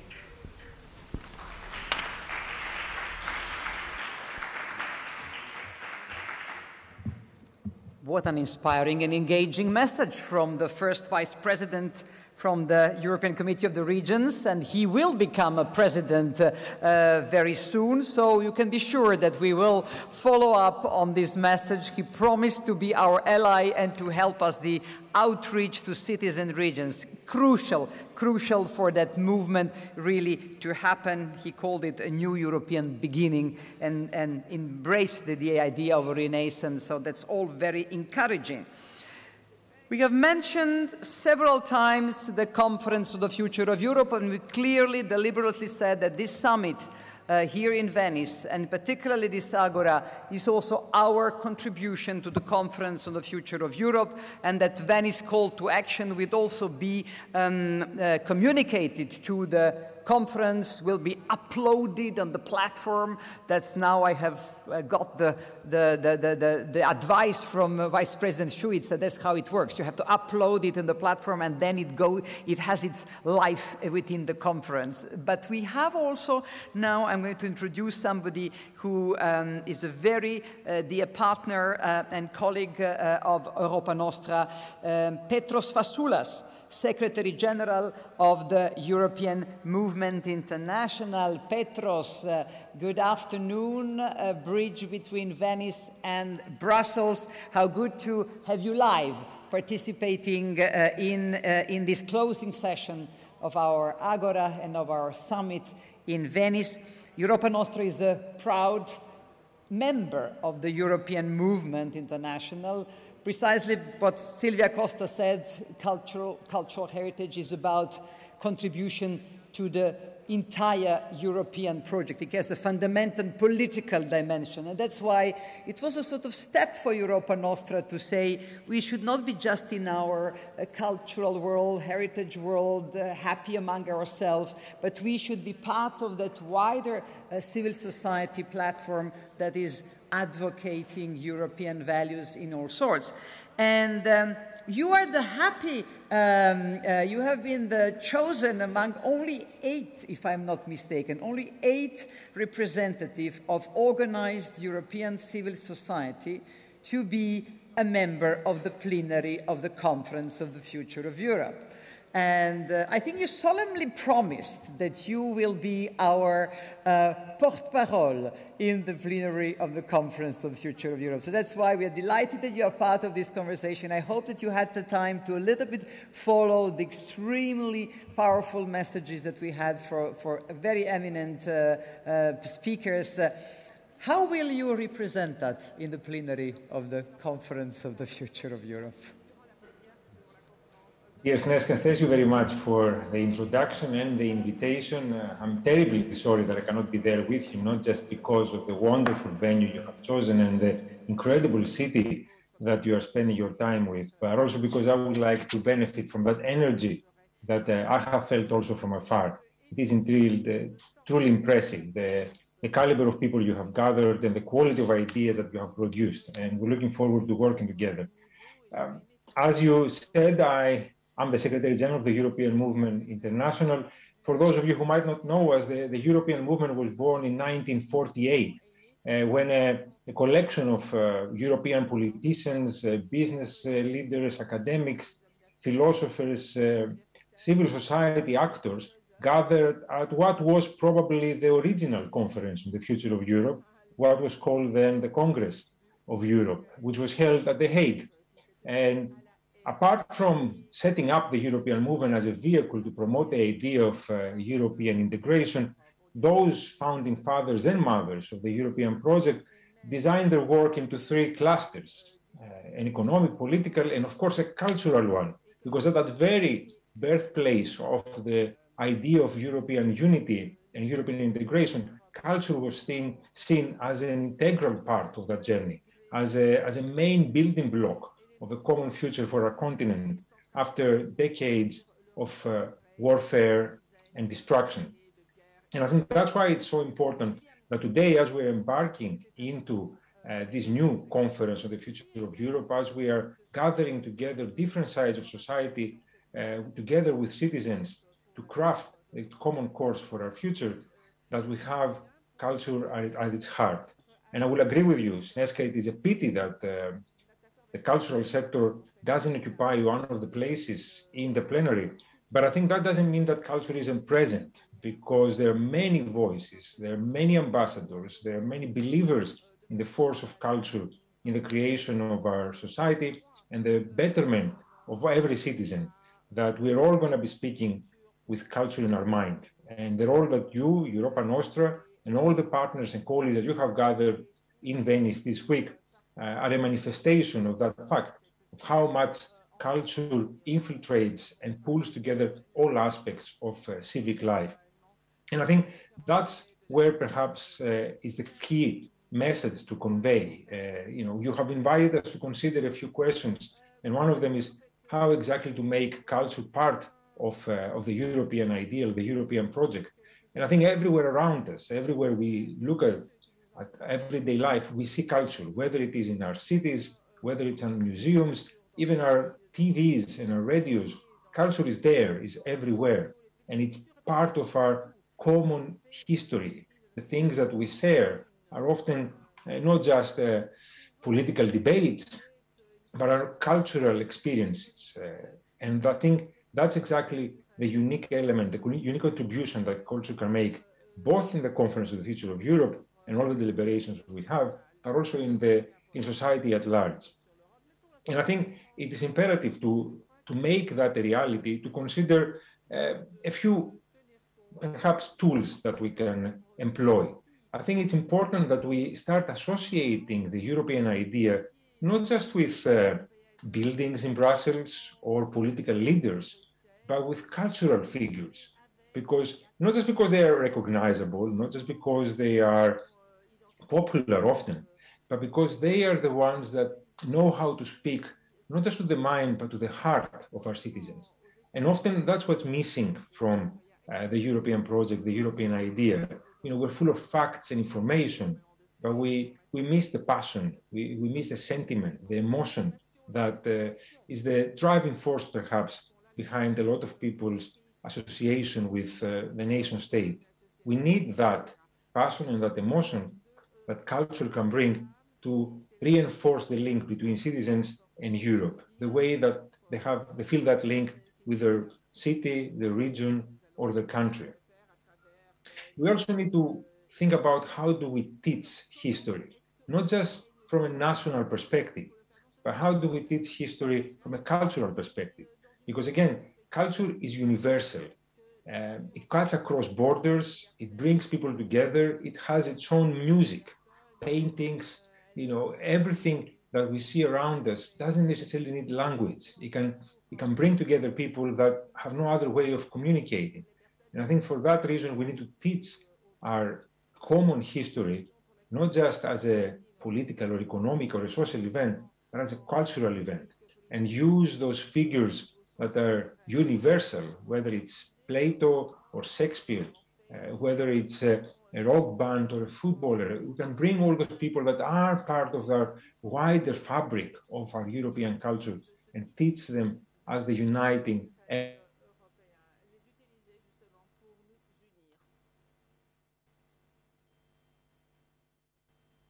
have uh, students traveling across Europe uh, to study in different parts of our continent, perhaps we can enable our young and older citizens to travel and visit different cultural sites to give them that opportunity to realize that uh, it is culture that brings us together. Because at the end of the day, uh, what really uh, unites us are those things that we can all relate with. And, and culture is at the foundation of that connectivity for all Europeans. Uh, as the European movement, uh, we're firm believers of uh, European integration and cooperation. Uh, we have been advocating um, the advancement of uh, peace, solidarity, and democracy throughout our continent, and we work uh, across the European Union and the European continent to bring together people to work together. So we are especially proud that an organization like Europa, Europa Nostra that represents a cause like cultural heritage has chosen to be part of our community and engage together with a whole host of stakeholders to advance uh, the ideals, the values that uh, Europe represents. And I truly feel the responsibility to represent you as well as other cultural voices in the Conference on the Future of Europe. And I look forward to working with all of you to make a, a cultural Europe, uh, a cultural European integration a reality. Thank you very much again for having me.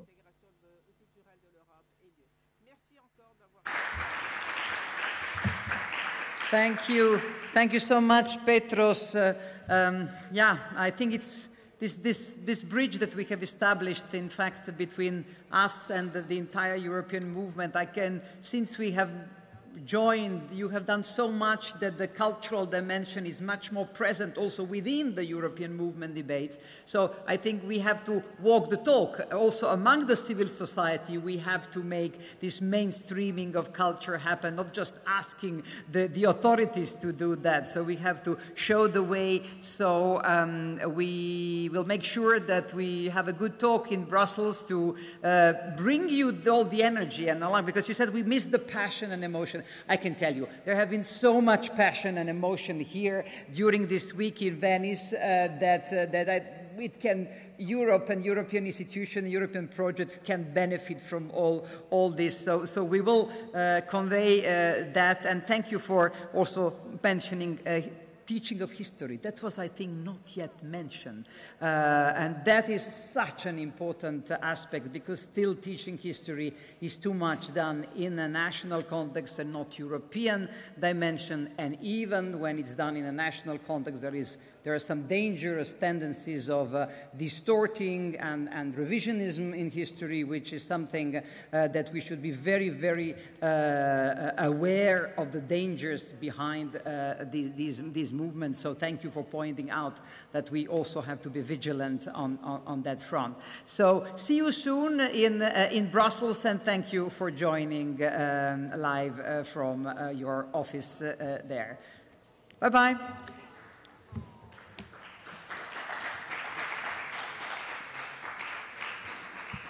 Yes, I said there has been so much passion and emotion um, during this, this, this week. Uh, and um, that's why I'm delighted that, that the final speaker um, uh, who is going to be here with us is, I would say, the personification of passion and emotion, the sentiment. André Wilkens is speaking of a European sentiment.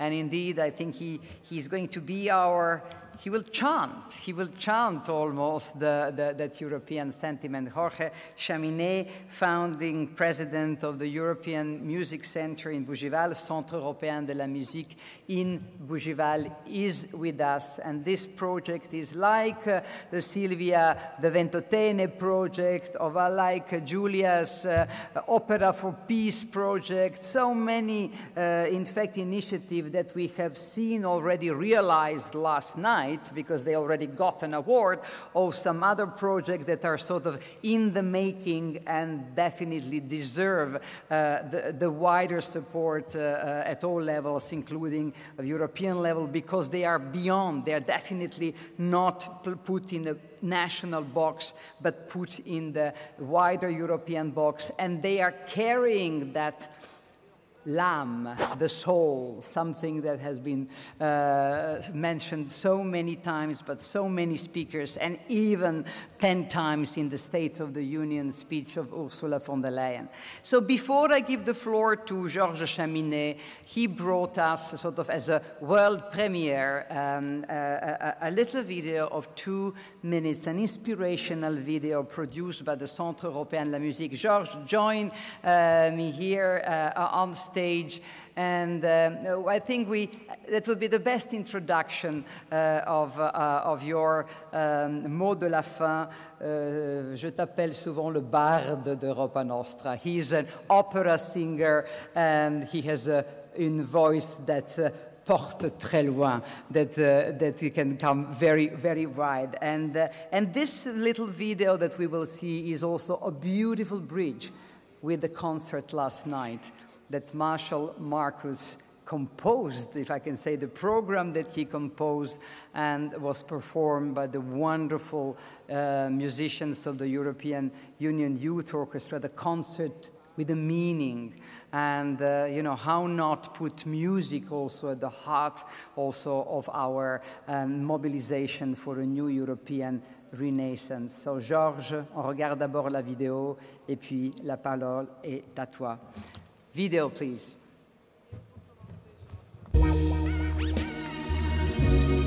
Je suis un lien, un lien qui unit les hommes, le corps, le cœur et la raison.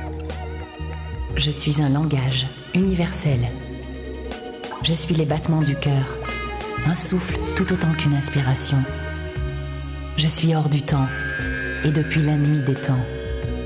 Je suis vous, je suis nous. Je suis celle qui sait épouser les contraires et les contrastes pour révéler les richesses.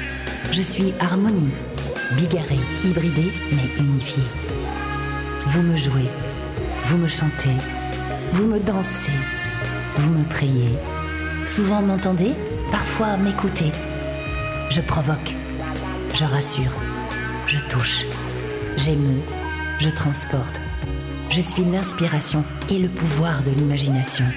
Je suis perfection, encore plus belle lorsque je deviens perfectible. Une faille dans le silence, si sensible et tellement humaine.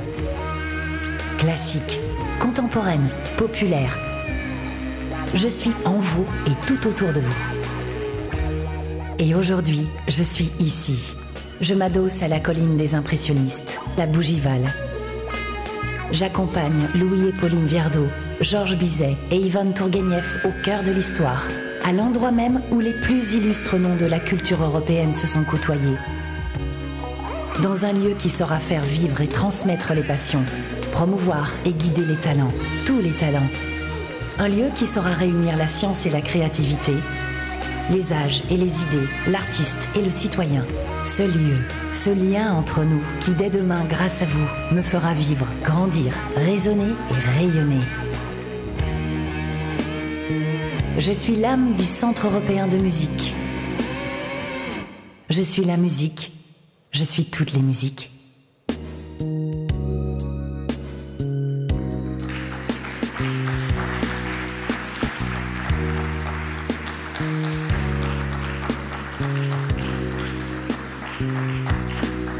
And gentlemen, this is the other soul of the Centre Européen de Musique and also the soul of Europa Nostra, Georges Chaminé. Merci, merci Sneska. Eh, devo dire prima di tutto grazie, grazie alla Serenissima. Thank you. Thank you so much to Serenissima. Thank you, Venice.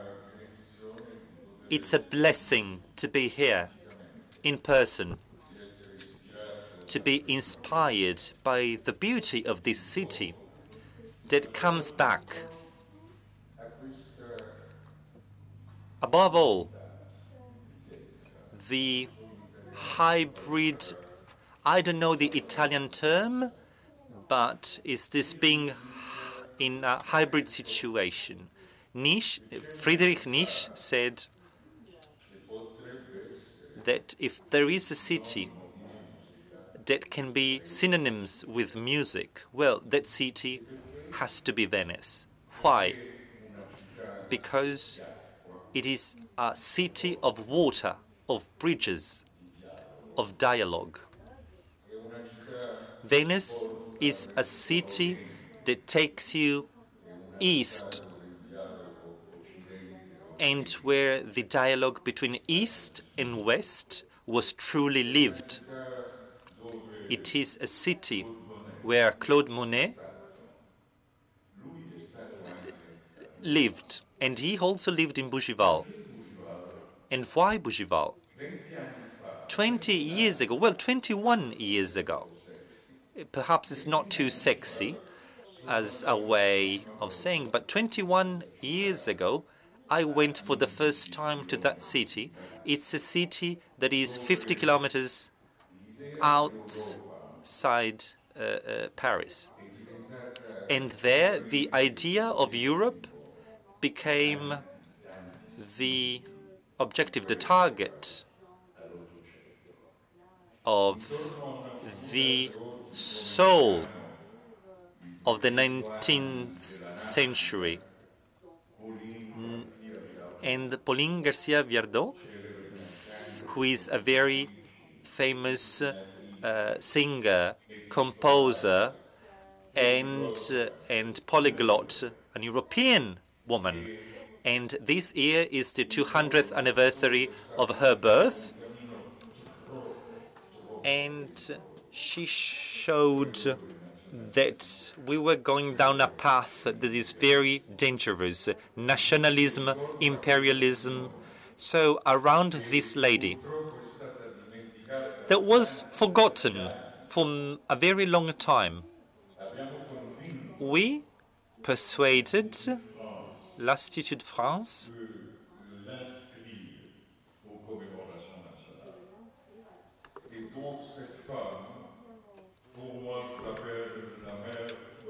And so we decided to register her in a form of commemoration. We often speak about the founding fathers of Europe, but almost never of the founding mothers of Europe. Pauline was an extraordinary woman. And today, her villa is being restored. And so 21 years ago, when I went there for the first time, everything was uh, it was just ruins. And uh, it was not just a house of Pauline Viardot, it was also the house of Bizet. Uh, there where Carmen was composed, one of the most popular uh, uh, operas of the world, and it's also where he died at the age of 36, only 36. And uh, with despair, with despair because uh, he was defeated with Carmen, but later in time, Carmen uh, was uh, recognized internationally and became such a famous opera. Uh, but so that place was the birthplace of that of those important people. And now it, this villa is also an important project for the European Music Center. Why? Because uh, in that city there is an important music field. And so in the salons of Pauline, Wagner, Liszt, and many others, Gabriel Fauré, uh, they, in that villa, those composers composed beautiful music. And so that is where the uh, cultural heritage was born. And then also from there, the, the, the, the there was there was also Victor Hugo uh, that was often at Collins, and that's where he wrote the United States of Europe. After all those conversations held in those in that villa, and uh, but they lost at the time. We had two very cruel, painful wars in Europe, and in that. Uh, there they lost. But now we do know. So our responsibility is bigger, is greater. And I tell you, thank you. Thank you, uh, Alain, Alain Dupont. Thank you to Alain Dupont that when he said that economy and culture will shake hands, that will be the moment. Today will be the moment when culture and economy have to mutually shake hands. Or else we will just bump our heads against a wall. And today we are in a city of bridges. And today we have to build a bridge thanks to the music because music is in music is in everything that you have seen in these days. Music has always been with us. So mm, so it it's not just about playing an instrument. It's not just about uh, having a performance. It's about finding the right, just sound resonating within each and every of us. And music has to be uh, be included in the new Bauhaus. When you go to the United States or Asia or Oceania, when you listen to uh, operas by Mozart or Beethoven, they say that's the European music, that's our identity, Europe, its history. The history of Europe is a, a history of, uh, uh, uh, of, of meetings, of music, of it's it's music that uh, makes us join forces. Uh, over the past few days, I've heard many stories, and all these stories are leading us to this very way. That way, this way is music. Music is a gift, is a, a free gift that we have from the beginning of time, and and our heart, our mind, and our reason our heart, our head, everything, our body, all will be united thanks to music. Today, this is what counts in Bougival, because in Bougival, past and future are meeting up. In this European Center of Music, we will have this huge heritage that will be rescued thanks to us. But we will also have an auditorium, a music academy where young musicians, after getting their diploma, they will be able to enter their professional life, their professional career, which is what we are lacking, we are missing nowadays. Because nowadays, often young musicians do not have a place where they can express themselves, express their music. So this is our target. So it will also be a research laboratory. Nowadays, we know very well, we know scientifically that music is a game that is very important also for many diseases, uh, Alzheimer's, Parkinson's. Uh, music is also very important for many behavioral um, conditions, autism, and so there is a research institute. We will establish a research institute with 20 humanistic scientists that are working on the transdisciplinarity uh, not interdiscipline, but transdiscipline, because interdiscipline is a way to live one next to the other. Good morning, philosophy. Oh, good morning to you, uh, Miss History. But no, that's not the case. We are here in a transdiscipline. There is an alchemy. There is music that is putting all of us all together scientists, humanists, uh, clinicians, anyone accepted this bet. And they know that thanks to music we will find new ways. Not just for our health but to spend time together to uh, have a new dialogue that only music will allow. So let's look at music not just as a form of entertainment, not just as a form of consumption. Now it is the moment it's an urgent, it's urgent now to move away from this uh, duplicity. So it's not, we have to move away from this dichotomy of being either producers or consumers.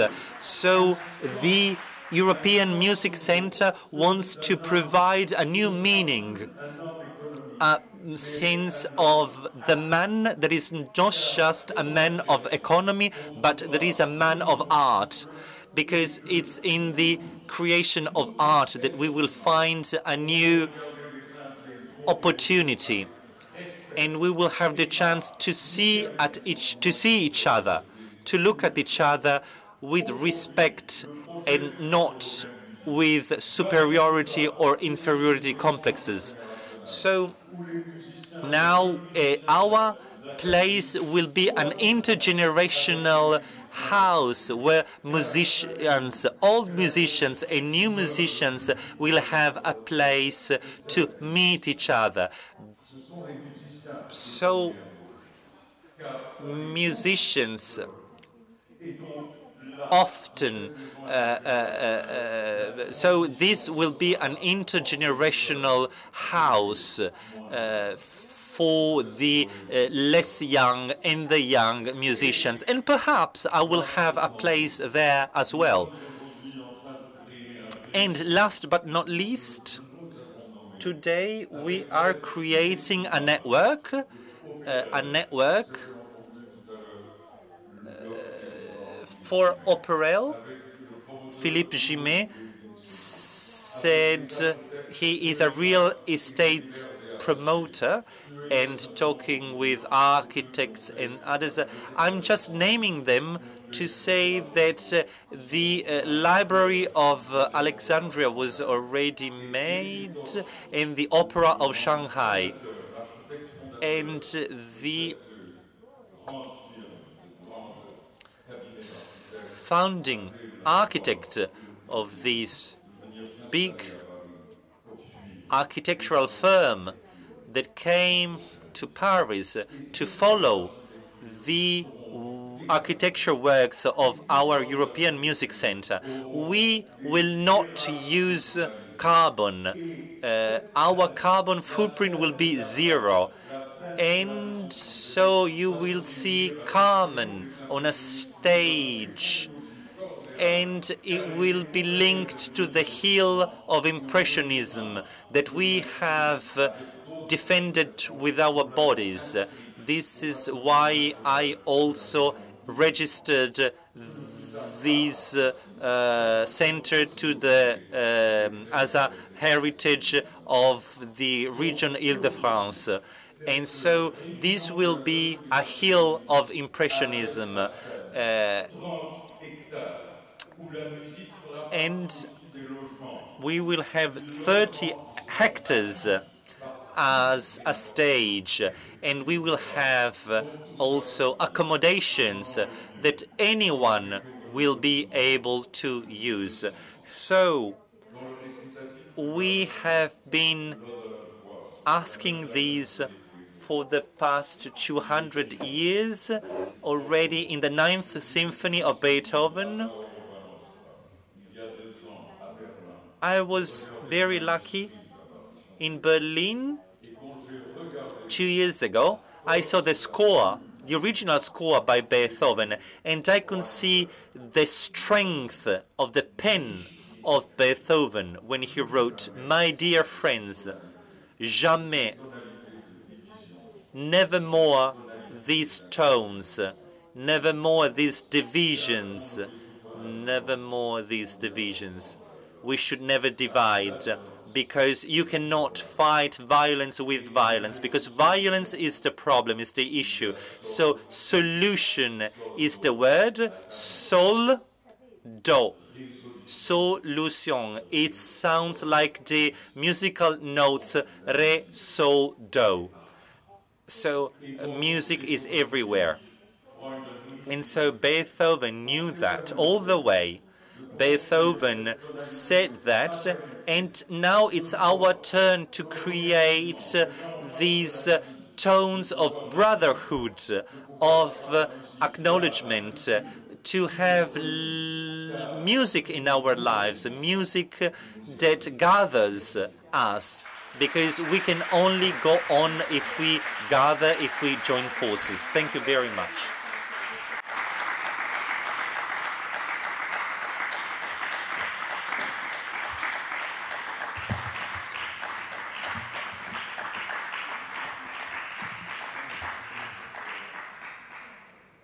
I hope you all agree that it was a good idea de donner la parole de la fin à Georges Chaminé pour ne nous encourager à nous envoler. Thank you for encouraging us and for making us understand and to be able to change our register and reach this new European renaissance. I'm tired, but I'm also very sad because we have to close this week. Uh, I wish it can continue eternally. We can continue to exchange this passion and energy and uh, without, without frontiers and, uh, you know, then everything is possible. And that is, that is, I think, what this week has brought to us, has brought us joy, as, as Georges said, of being together again.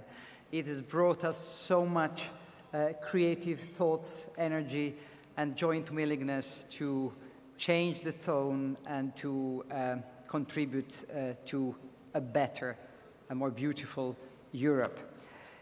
We have heard beautiful words. I can't summarize it all, and I will not try to do it, but uh, there's these words of sentiment, the words of uh, joy, of words of uh, soul, the sound we have also here. We need the, spirit of Europe, the sound of Europe. Uh, um, and um, Georges, when you said we need more economy and culture to join forces, I'm so delighted that we have the representative of the President Hoyer of the European Investment Bank still with us, sitting in the first row. Francisco, you are now saying we are the climate bank. Perhaps in a few years you will say we are the bank of the soul of Europe. Uh, we need indeed that these institutions to start changing the tone and embracing all the messages that we are, have been conveying throughout this week uh, in, in Venice. Uh, because, because we don't have a choice because we don't have time left, uh, uh, because we need the togetherness, as we have put in our uh, essay for a new heritage deal for Europe. We need a cultural deal, and I'm delighted that we also here in Venice we have had uh, both uh, the European Cultural Foundation and I see uh, in the back uh, the, uh, Tere Badia, Secretary General the, the, the um, Culture Action Europe. The three of us got together also to say that in addition to the Green Deal, we need that culture deal, but which is not something separate it. It's something that irrigates and sort of inspire all, all deals and all policies uh, across Europe and on all levels of government. We need that humanistic agenda. Why? Because it will improve the quality of life and the quality of our environment. Uh, but as uh, with so dramatic tones, uh, Georges said, the, the, the, the, the, we don't, the emergency, and we have to have a sense of urgency. We cannot just continue in the same rhythm. There is an acceleration of, of, of, history. I think, Luca, you have used that word, acceleration, and, and uh, we, we have contributed to it. Also, the, the crisis is contributed to it, but all that is saying that the time for action is now. We have had the young voices. I'm delighted that in every panel today we have had a young uh, heritage ambassador participant. And yesterday we have seen how many young people got an award because they have done something extraordinary. And we have the year of uh, European youth uh, coming. So we have also a lot of dangers, a lot of emergencies, and a lot of opportunities. And that's why we are launching today from Venice a Venice call to action for a European, new European Renaissance. I won't read it all. You will all get it in your, um, uh, in your uh, inbox. But I just want to uh, point out some of the very concrete points at the end that we are saying. What is that call to action? What kind of action do we, are we calling for? Of course, we first want to put Europe's shared heritage at the heart of the European Green Deal and further stress the power of culture-based climate change solutions in the work leading up to the COP26. This is in two months, so this is an immediate action that is needed. We have done a lot to contribute to that with also many documents, including our European Cultural Heritage Green Paper.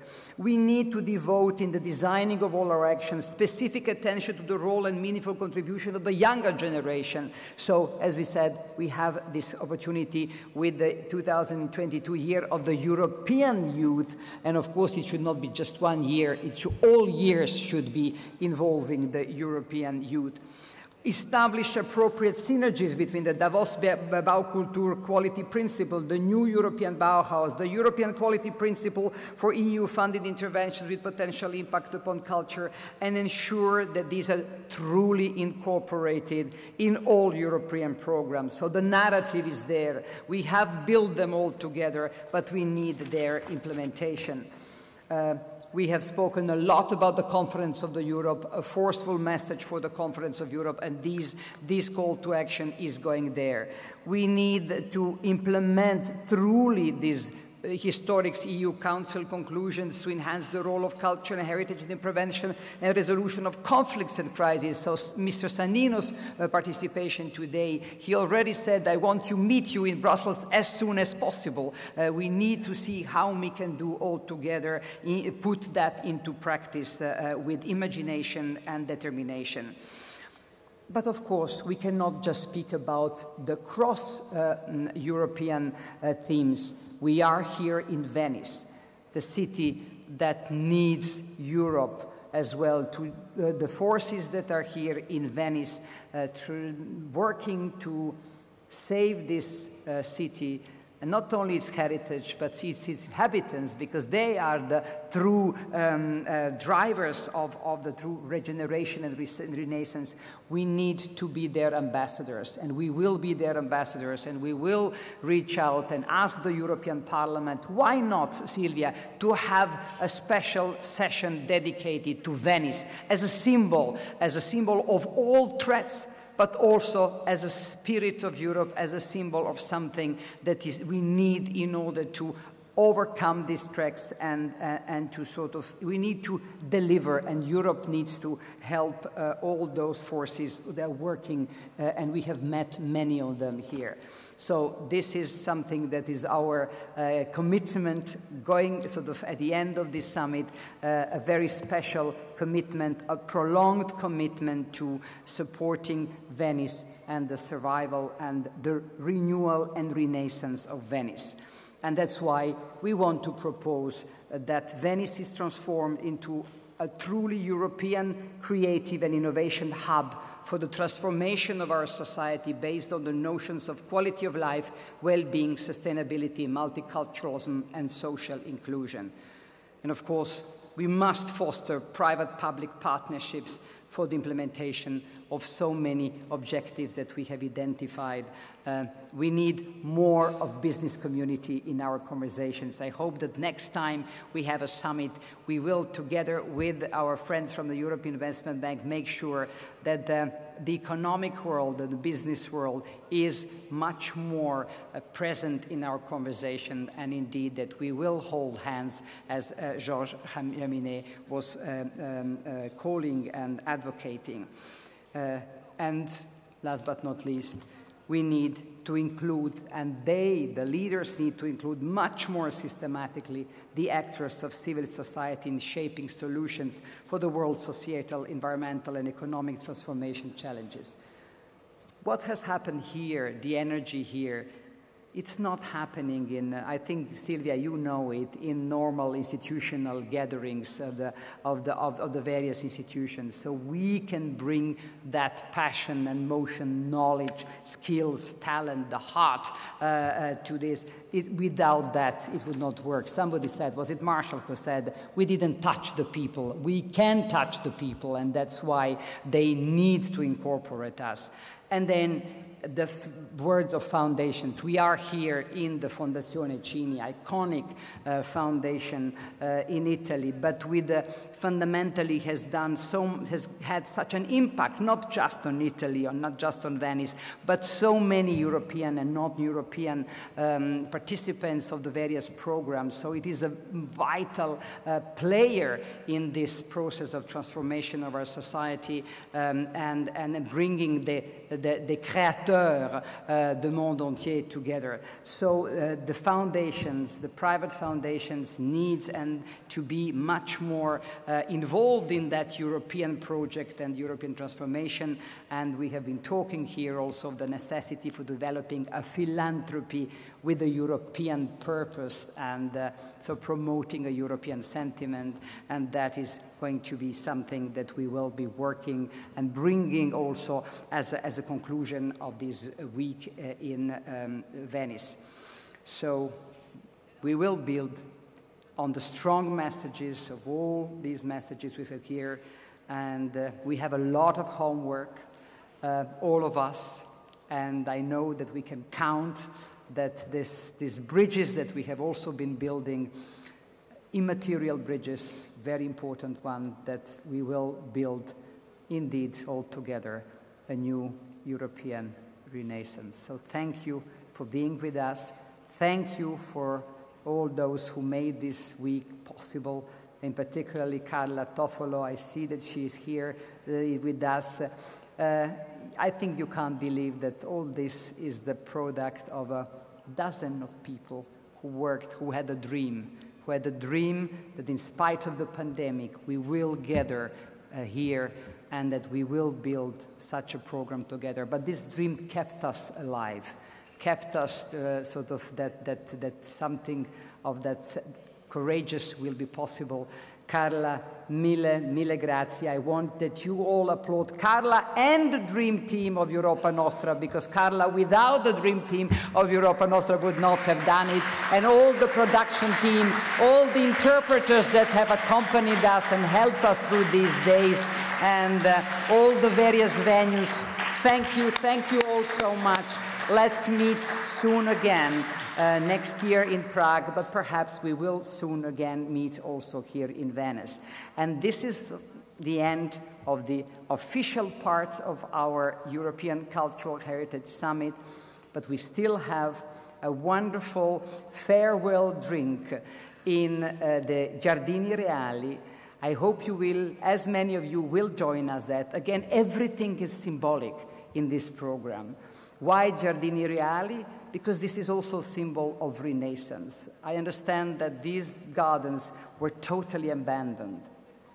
And there was a decision, if I'm not mistaken, a company company Generali decided to contribute to the regeneration of that, uh, that uh, precious garden in a precious uh, location in Venice and to open it up to the citizens and visitors alike. So this garden is a symbol, yet another symbol of our common commitment to the new European Renaissance. So let's keep that spirit in everything we are doing, wherever we are going.